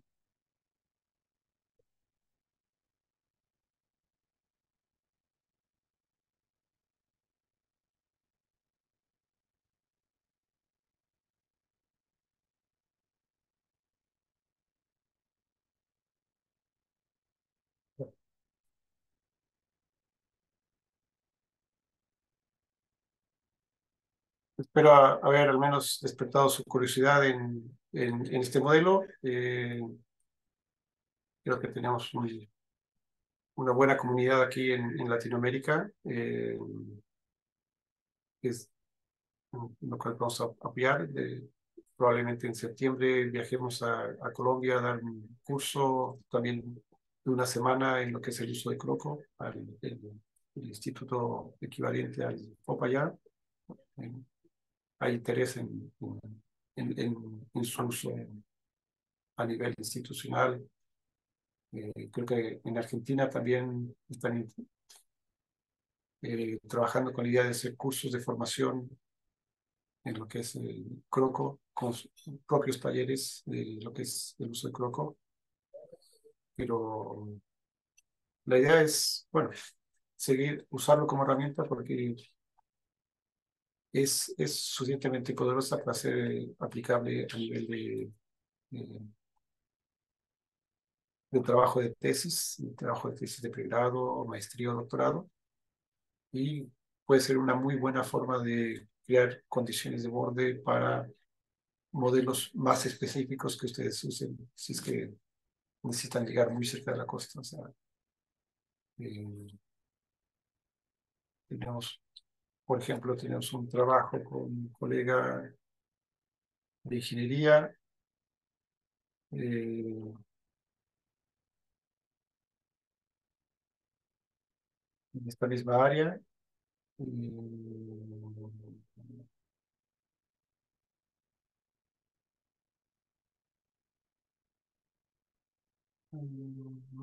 acá. Donde eh, un poco trabajando en la misma zona,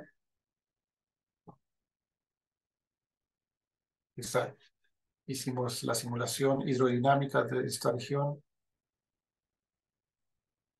bajamos la resolución a más a 400 metros con Croco esta resolución y usamos esto como fuente, fuente de condiciones de borde para estudiar este, el estuario elefante en esta zona, pero ya con un modelo CFD, porque la idea es eh, usar la malla del modelo CFD y en la malla de ese modelo incluir explícitamente una jaula de salmón. Entonces, en este estudio se vio el efecto de las corrientes en el estuario eh, debido a la presencia de la jaula. Y el trabajo de conexión que se hizo con el modelo Croco es cómo hacemos de forma, cómo ingresamos corrientes realistas de esta zona, eh, pues anidando con un modelo regional, yo sé, que fue escaló desde acá hasta acá, hasta acá. Todo para estudiar un puntito acá.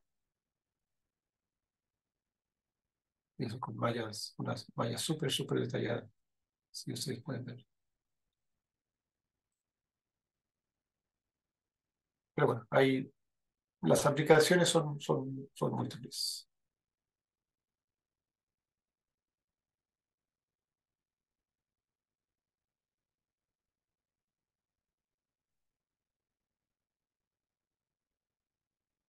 ¿Preguntas, comentarios, dudas?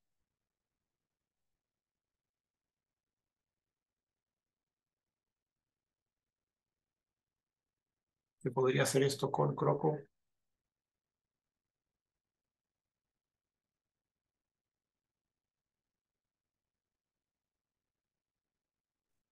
Yo tengo una pregunta, pero sobre cómo podemos nosotros usar Croco eh, viendo los videos. ¿Necesitamos usar el usuario que nos dieron o lo podemos hacer directamente de nuestra máquina?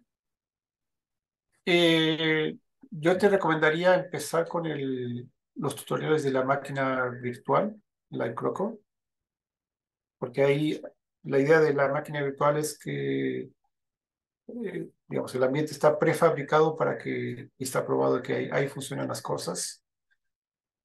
Y el siguiente paso eh, sería o conseguirte una cuenta en el, en el HPC y trabajar ahí, sí, modificando un poco la, las instrucciones que, que están en los tutoriales, o instalar en tu propia máquina. Yo creo que si ya haces el, alguno de los alguno de los si haces los tutoriales de LiveProco y tienes una máquina con Linux, puedes bajar eh, Croco directamente del sitio web y compilarlo. Antes era un poquito complicado de compilar, pero ahora ya es mucho más sencillo. Debería funcionar a, la primera. Pues para asegurarte que funciona, empieza con la máquina virtual, que son casos chiquitos de juguetes, de dimensiones chicas.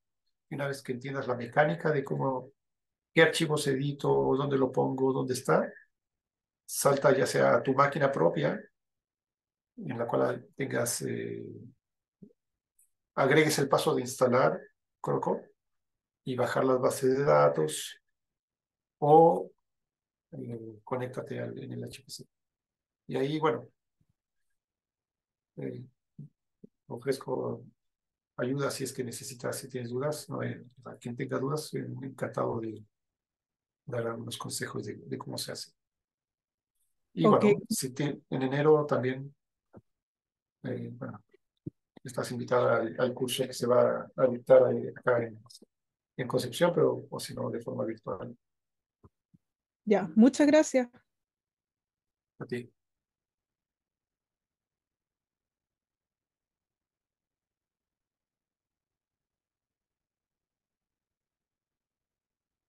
Bueno, si no hay más dudas, yo eh, les dejo, bueno, deberían tener mi correo por ahí pero si no, el correo de uso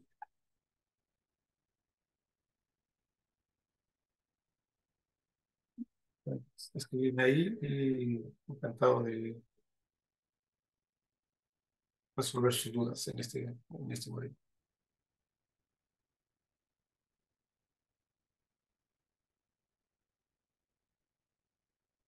Gracias en el HPC por ofrecer esta plataforma de trabajo. Realmente, cuando uno no quiere pelear con la instalación y quiere correr modelos grandes, es, es una gran es una gran ventaja tenerlos. Muchas gracias por tu tiempo tu paciencia con nuestro, curso de día. Y obviamente estás invitado si quieres hacer otro curso cuando tú quieras, estamos a tu disposición. Ya, muchas gracias. Que tenga un excelente día. Igualmente, suerte hasta luego. Hasta luego. Chao, muchas gracias. Chao, chao.